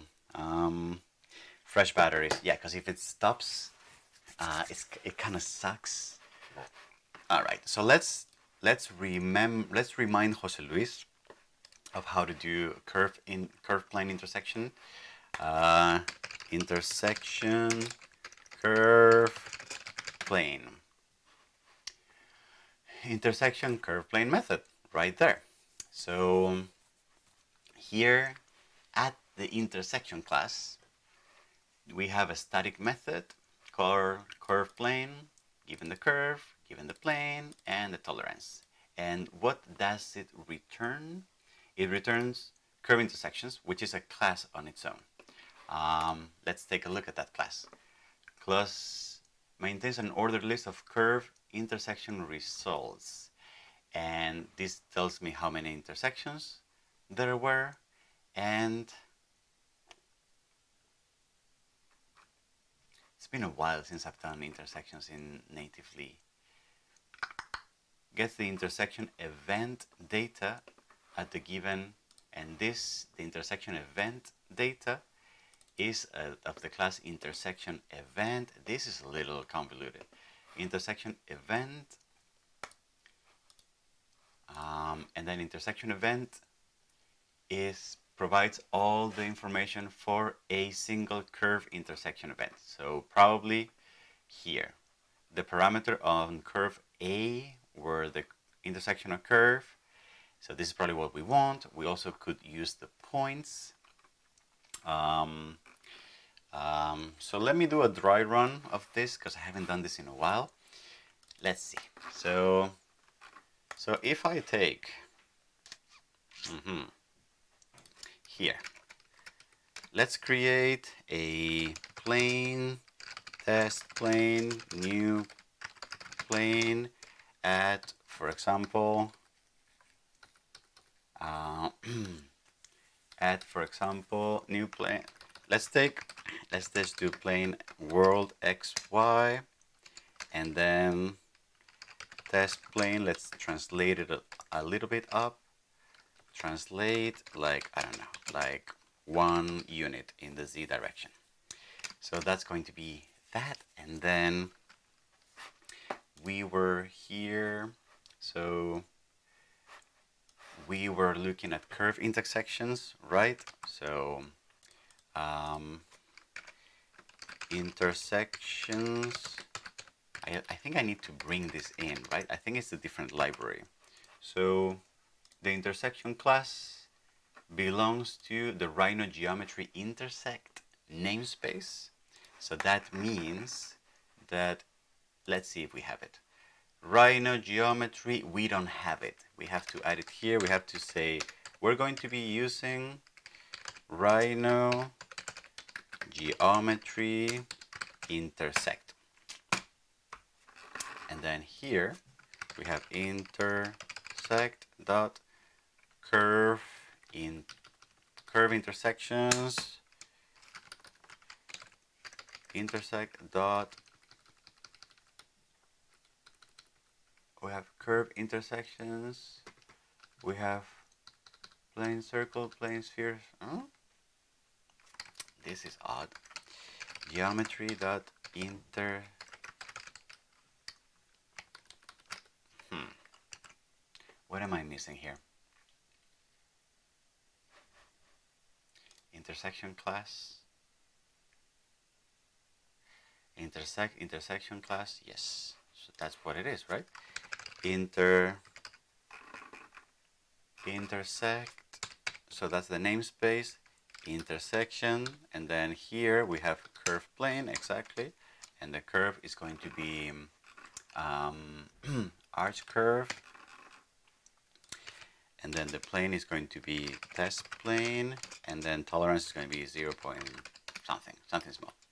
And then curve plane gives us back the where was it?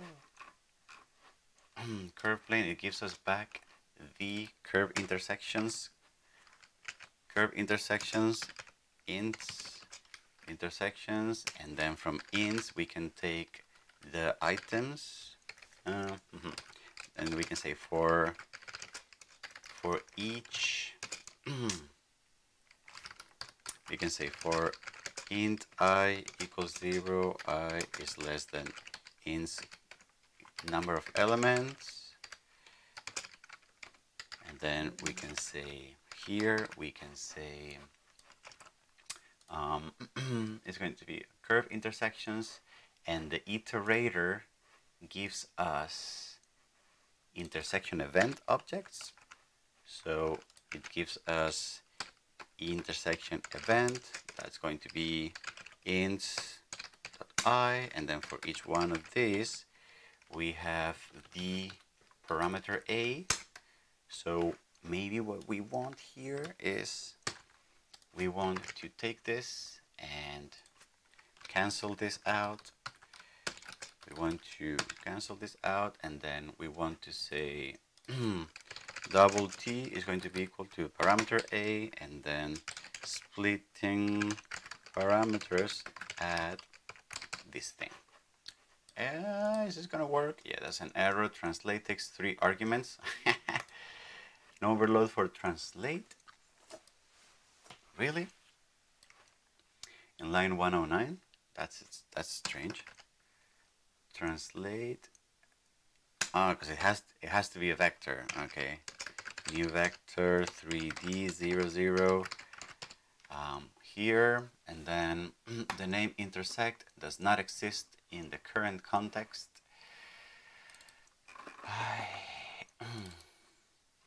so maybe I don't have to bring it in like that.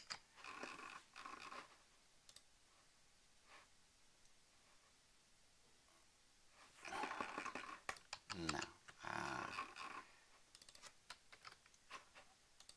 yes. Okay. So just available here, and okay. And then if we do this, then we're gonna bake this, and we can see that we have the two elements here. And if I say distance from 0, 0 to this point the vertical distance dz is one unit. How cool is that? Um we got this um, yeah intersections are not are a little convoluted in the Rhino common world but um, it is what it is it's actually quite they're actually quite powerful in fact um, so they're just like a little a little hard to write. But um, okay, so where was I? I'm going to remove this. Oh, actually, let me let me copy this somewhere because uh, you know I typically forget about these things. Let me just copy this here on a side note. Um, and then now we can actually go for it. Okay, and then here you see Rhino geometry intersect. Okay, and what do I want here to have? This one here, and I want to have this one here and then I want to have this one here and then intersection events. Okay, so that's the sequence that I want to follow when explaining this. Okay.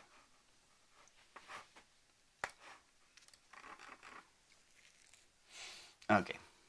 Where was I here when I stopped the video? I think I was here, right? Is there anybody still there? Hello? Okay, where are we? Oh, okay. Chop, chop, chop. Mm, and I'm recording. Oof, that's good. Because last time I forgot and I felt terrible.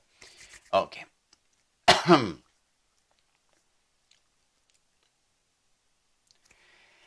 As usual, before we do anything, we probably want to do some research and some documentation on how to do a plane and curve intersection. So I've done I've done my own research in parallel and the way you research these things is very basic. You go to the Rhino Common API and you say, let me find an intersection between a curve and a plane. And literally the first thing that pops up is intersection curve plane. So we have that.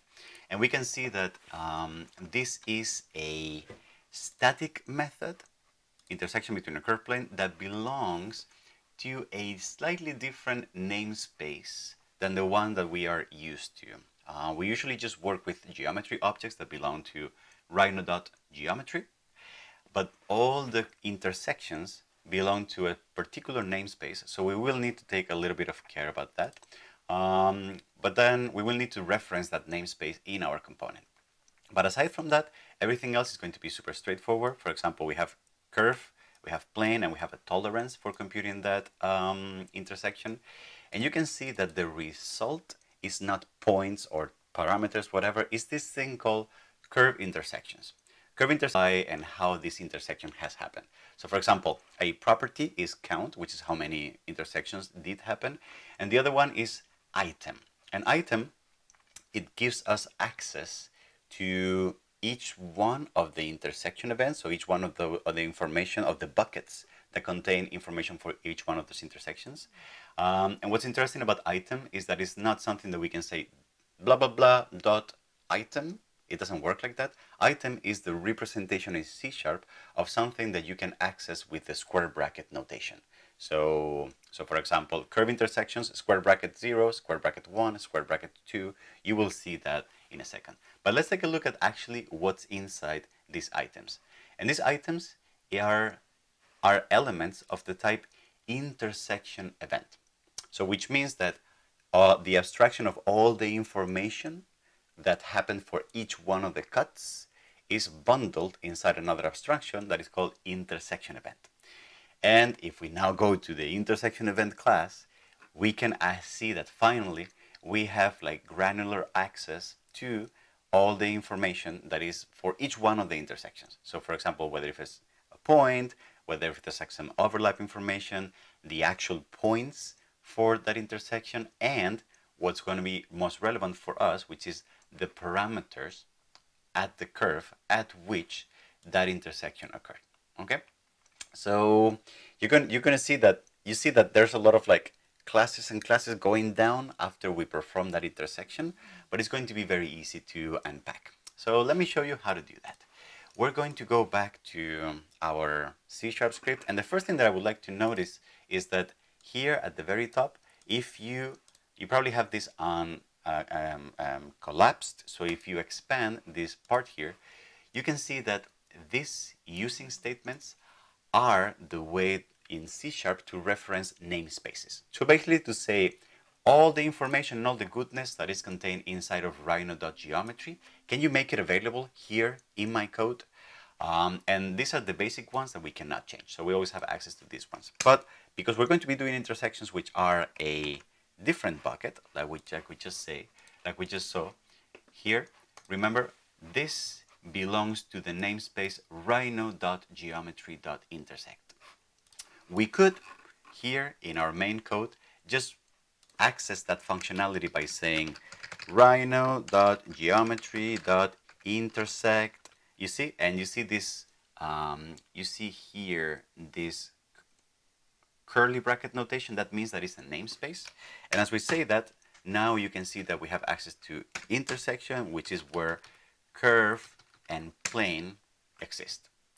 So this is would be the way to access the whole tree of dependencies of the namespace without having to reference the, the namespace. But writing this whole thing is like a little too much. So what I like doing usually is like referencing the namespaces that I'm going to be using in my code. So I'm going to be using here rhinogeometry.intersect. So I want everything that's in this namespace to be available for me. And now I can shorter all of this and just use this kind of um, this kind of accessibility. So what how are we going to do this now? So what we're going to do is we're going to create a base plane. We're going to create the cutting plane. The cutting plane has to be horizontal. It has to be uh, it has to start whatever base point was, so this point here, and it has to be above a certain z height, which I believe we named offset. So the way we're going to start this is we're going to say um, splitting plane. We're going to it's going to be a plane that is going to that is going to start is going to be horizontal, so it's going to start as world xy. Okay. Then we're going to set the origin of this plane. For example, uh, we're going to say we're going to set the origin to be uh, base point. Oh, okay. So the, the point that we had here at the input. And then on top of that, now what we're going to do is we're going to move it up a little bit. We're going to say translate, and we can see from the overloads, we can see that the only overload that we have is a vector to translate this plane on. So we can say, well, um, we can say, uh, let me create a new vector 3D which is going to be 0, 0, and z is going to be offset.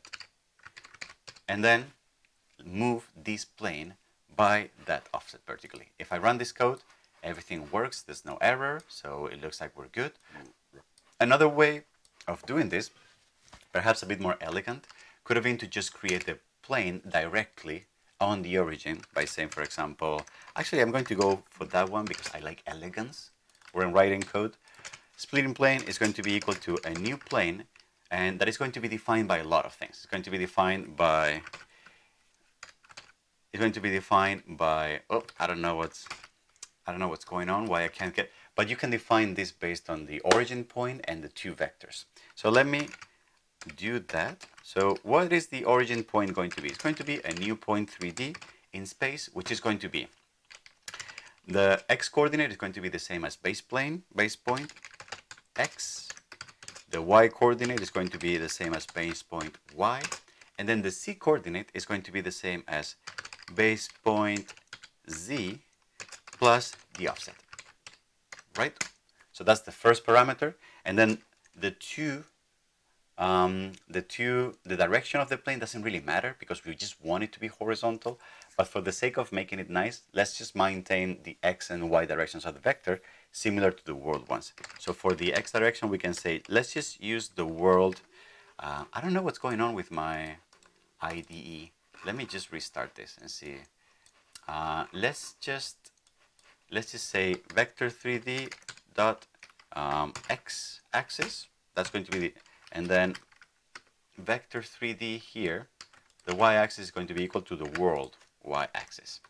And as we do this, this is probably a bit more elegant. So I'm gonna go. I'm gonna go with this. I like creating things right with the initial information as opposed to like creating a plane and moving it around. Blah blah blah. That's like a little more computationally inefficient.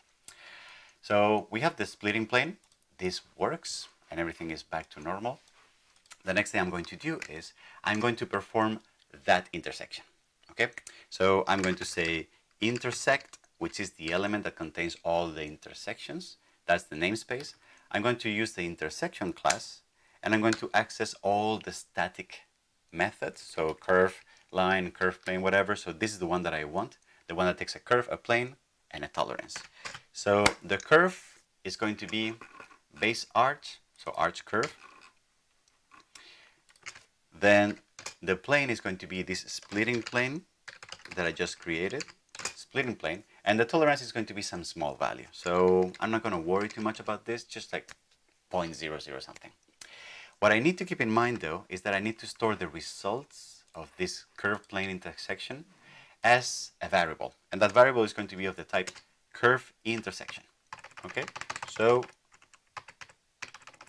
where is my, yes. So I'm going to say curve intersections, curve ins is going to be equal to this. And I'm going to just do this so that it reads a little better.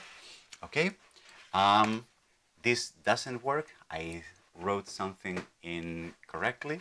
Um, I think this is redundant. I think, yes, because intersection belongs to the intersect namespace is already available in my code. So I think that's how it works. And just for the sake of taking a look at this, I'm going to output this console curve intersections. Let's see how that looks like.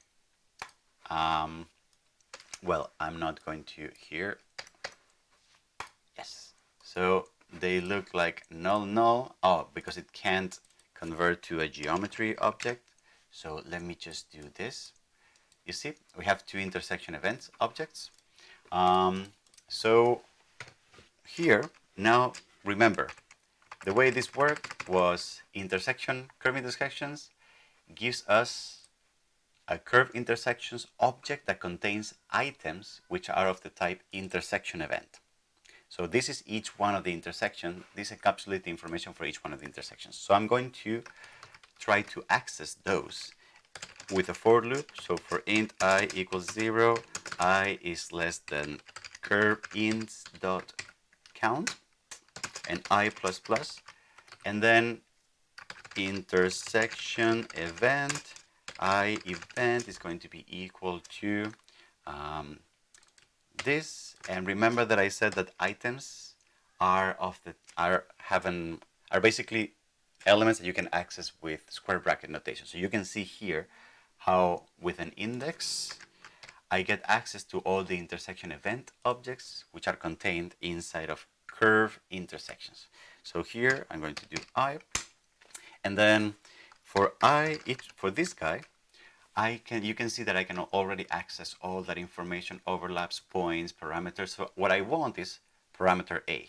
So this is where the plane cut the curve for this one particular intersection. I'm going to name this t, okay?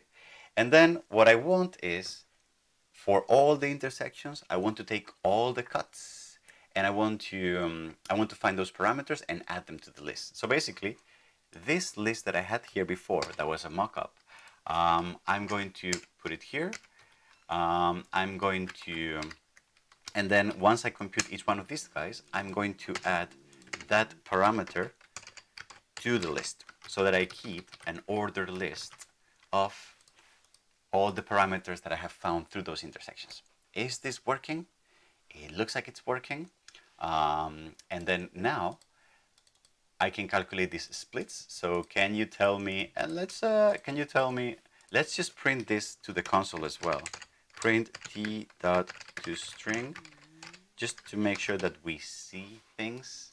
So let's print that. I'm going to execute and you see that the cuts are at 0.1 something something and 1.89 something something. This kind of looks symmetrical as numbers between 0 and 2. That makes me satisfied. It looks like it's working well. So I'm going to say now splits and then I'm going to cut the curve with these splitting parameters that contains all those parameters and then the middle, the, the subcurve subcurve is going to be if we are cutting with two a curve with two parameters, we have three curves, and I want to take the one at the center in the middle. So that's going to be splits dot one. Let's let's pipe that out through the console, and let's see.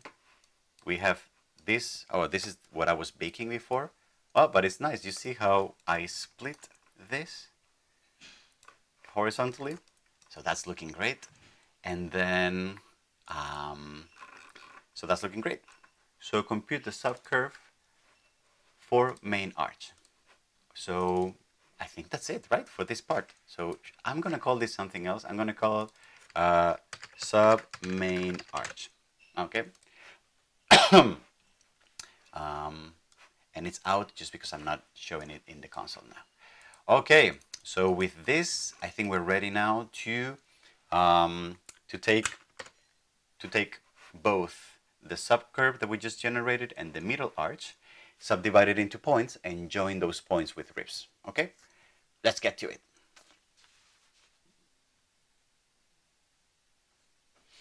Cool. I need a um, need a bathroom break. I'll be right back. One minute. One minute.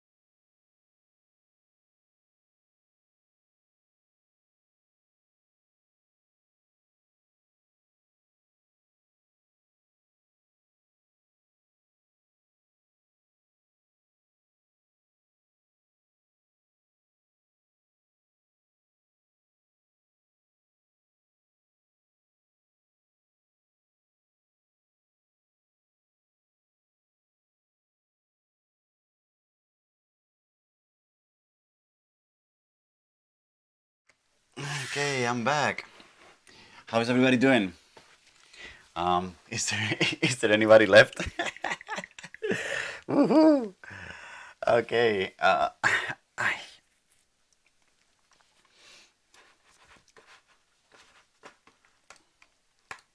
Um, mm, mm, where was I? We were about to do the ribs. Okay.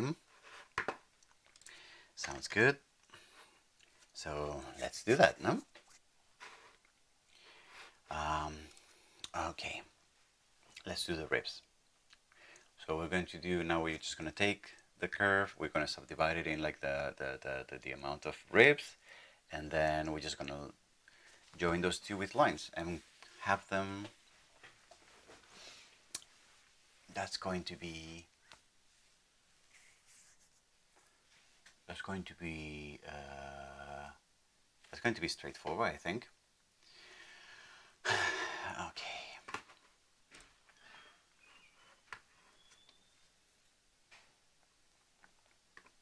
Mm-hmm.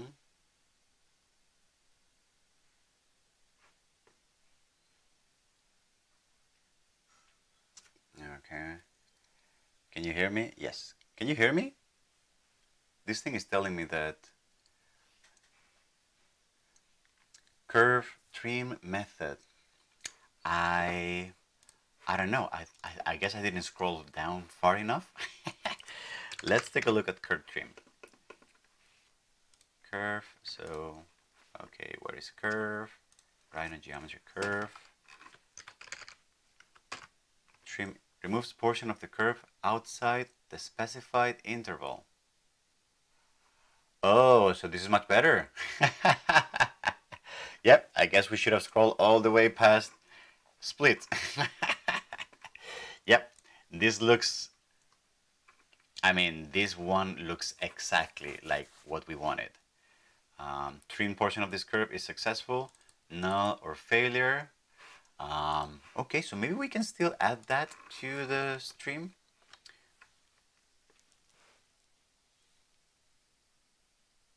Um, so we could just do trim here, arch curve trim, and then use one or the other. We don't really need to do this whole thing. Um, hmm, that's a good call, Rodolfo. Mm -hmm. Maybe I can do like a small thing where I show same thing Uh, uh, okay, uh, maybe I can just do the same thing and just do like a quick. Uh, okay, I'm just gonna rewrite this. Okay, good call. Let's do that.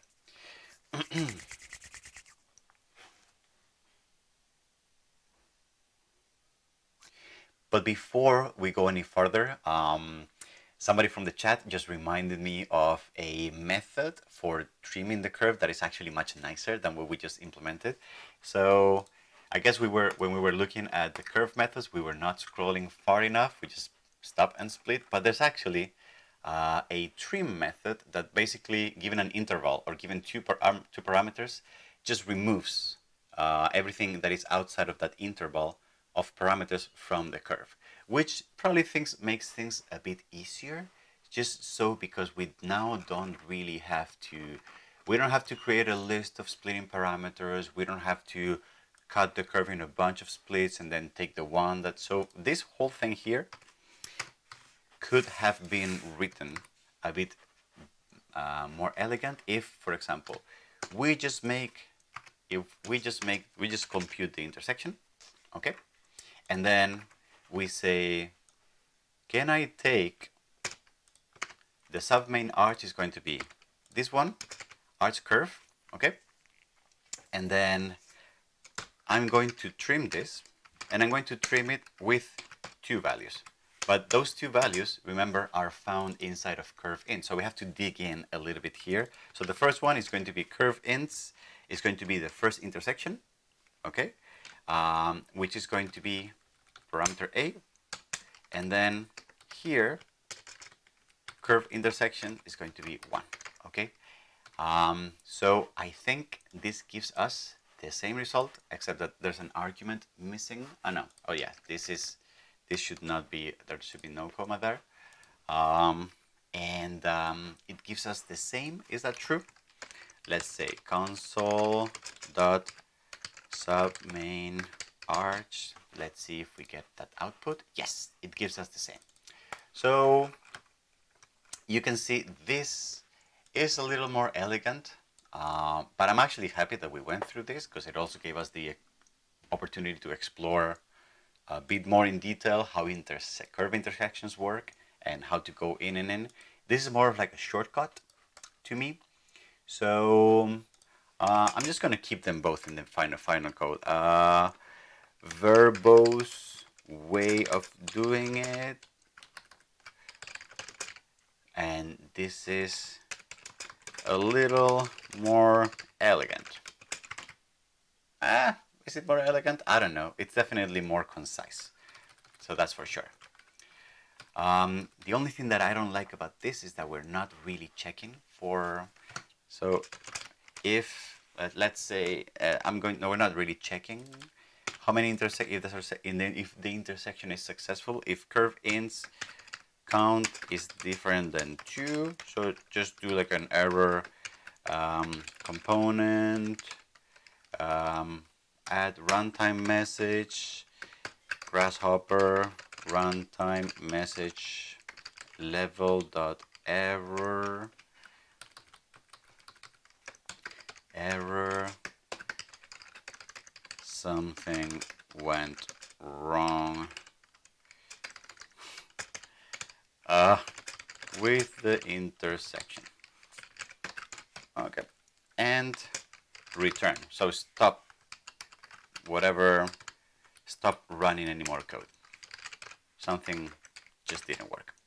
I mean, ideally, if everything in the previous code works well, if everything is tight, there should be no error with this. There should be no problem with this intersection. But just in case, checking these things out is actually very good practice, uh, just for the sake of clarity. Okay, so where were we? Now what we're going to do is we're going to take the subdomain, the subcurve, and the main arch, we're going to divide it in equal amount of points, and we're going to join those points with uh, between with with lines, creating therefore creating the ribs. So how are we going to do this? We're going to do some research as usual, and we're going to say, is there anything that given that can divide a curve in equal segments? And I think we've done this before in previous um, in previous um, in previous in previous um, um, videos or live streams or whatever. Uh, here in curve, we have divide by count, by count, which basically says, um, and we have this one, which is divide by count. How many segments do we want? Whether if we want to include the ends, and it gives us also this additional nice output, which is the actual points. Okay.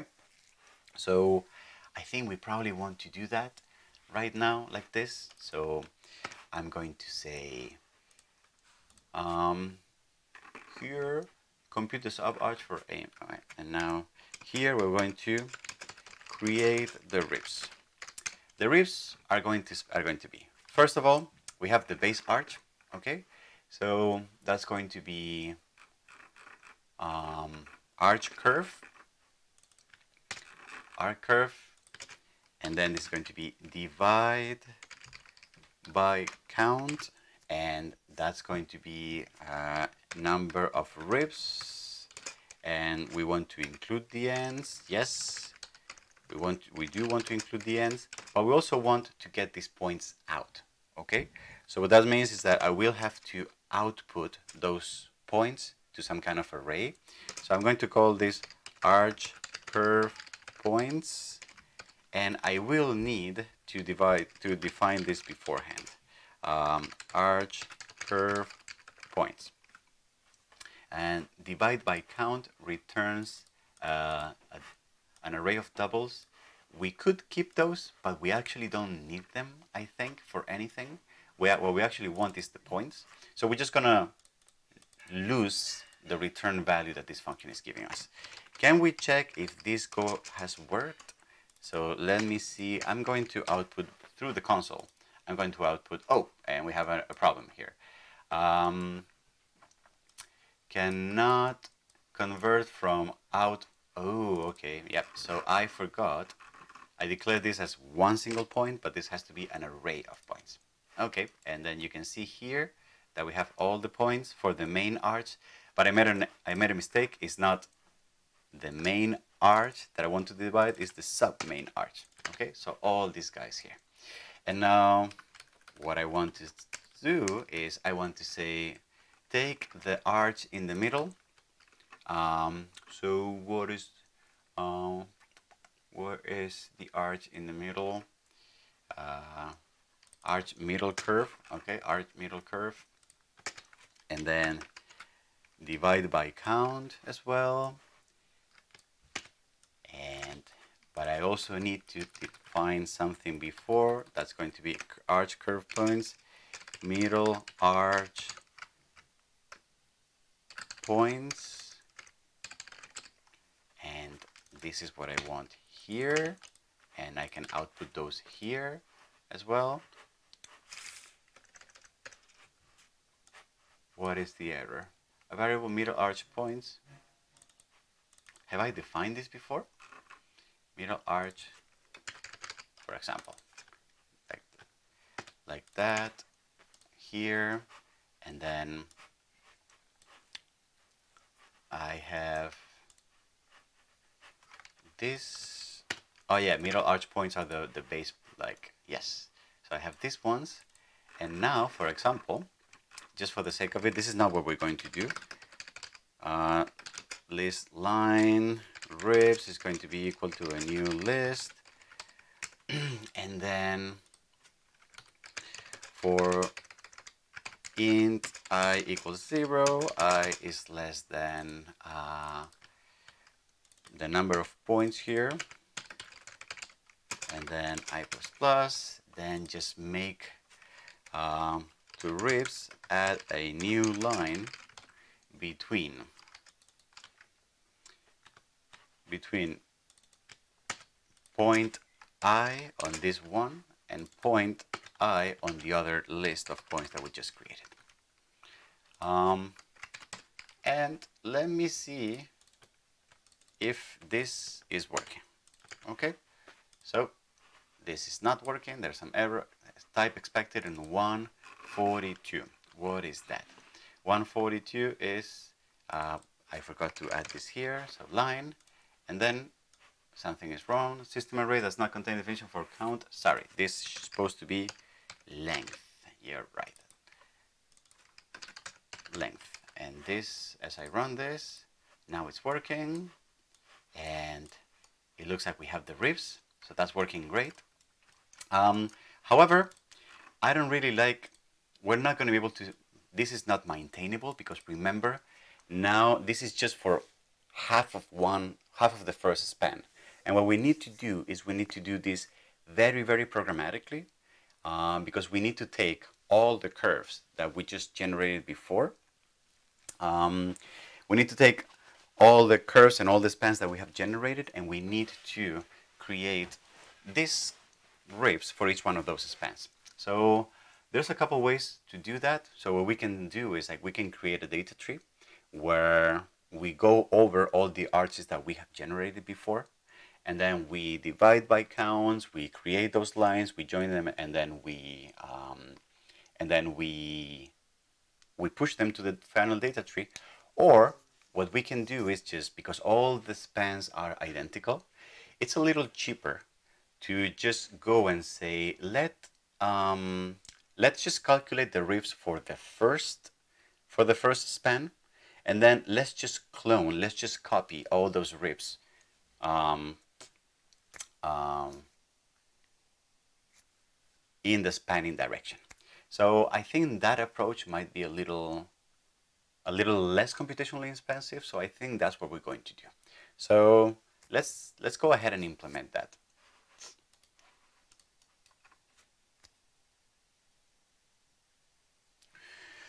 Okay.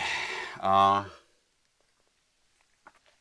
the problem with that approach is that cloning one element, geometry element, is easy, but cloning a list of them and moving them is not so straightforward. So I may take my words back. Am I going to take my words back?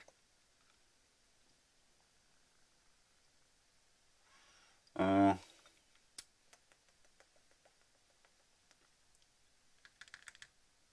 am I going to take my words back? What are we going to do? How are we going to do this? Uh,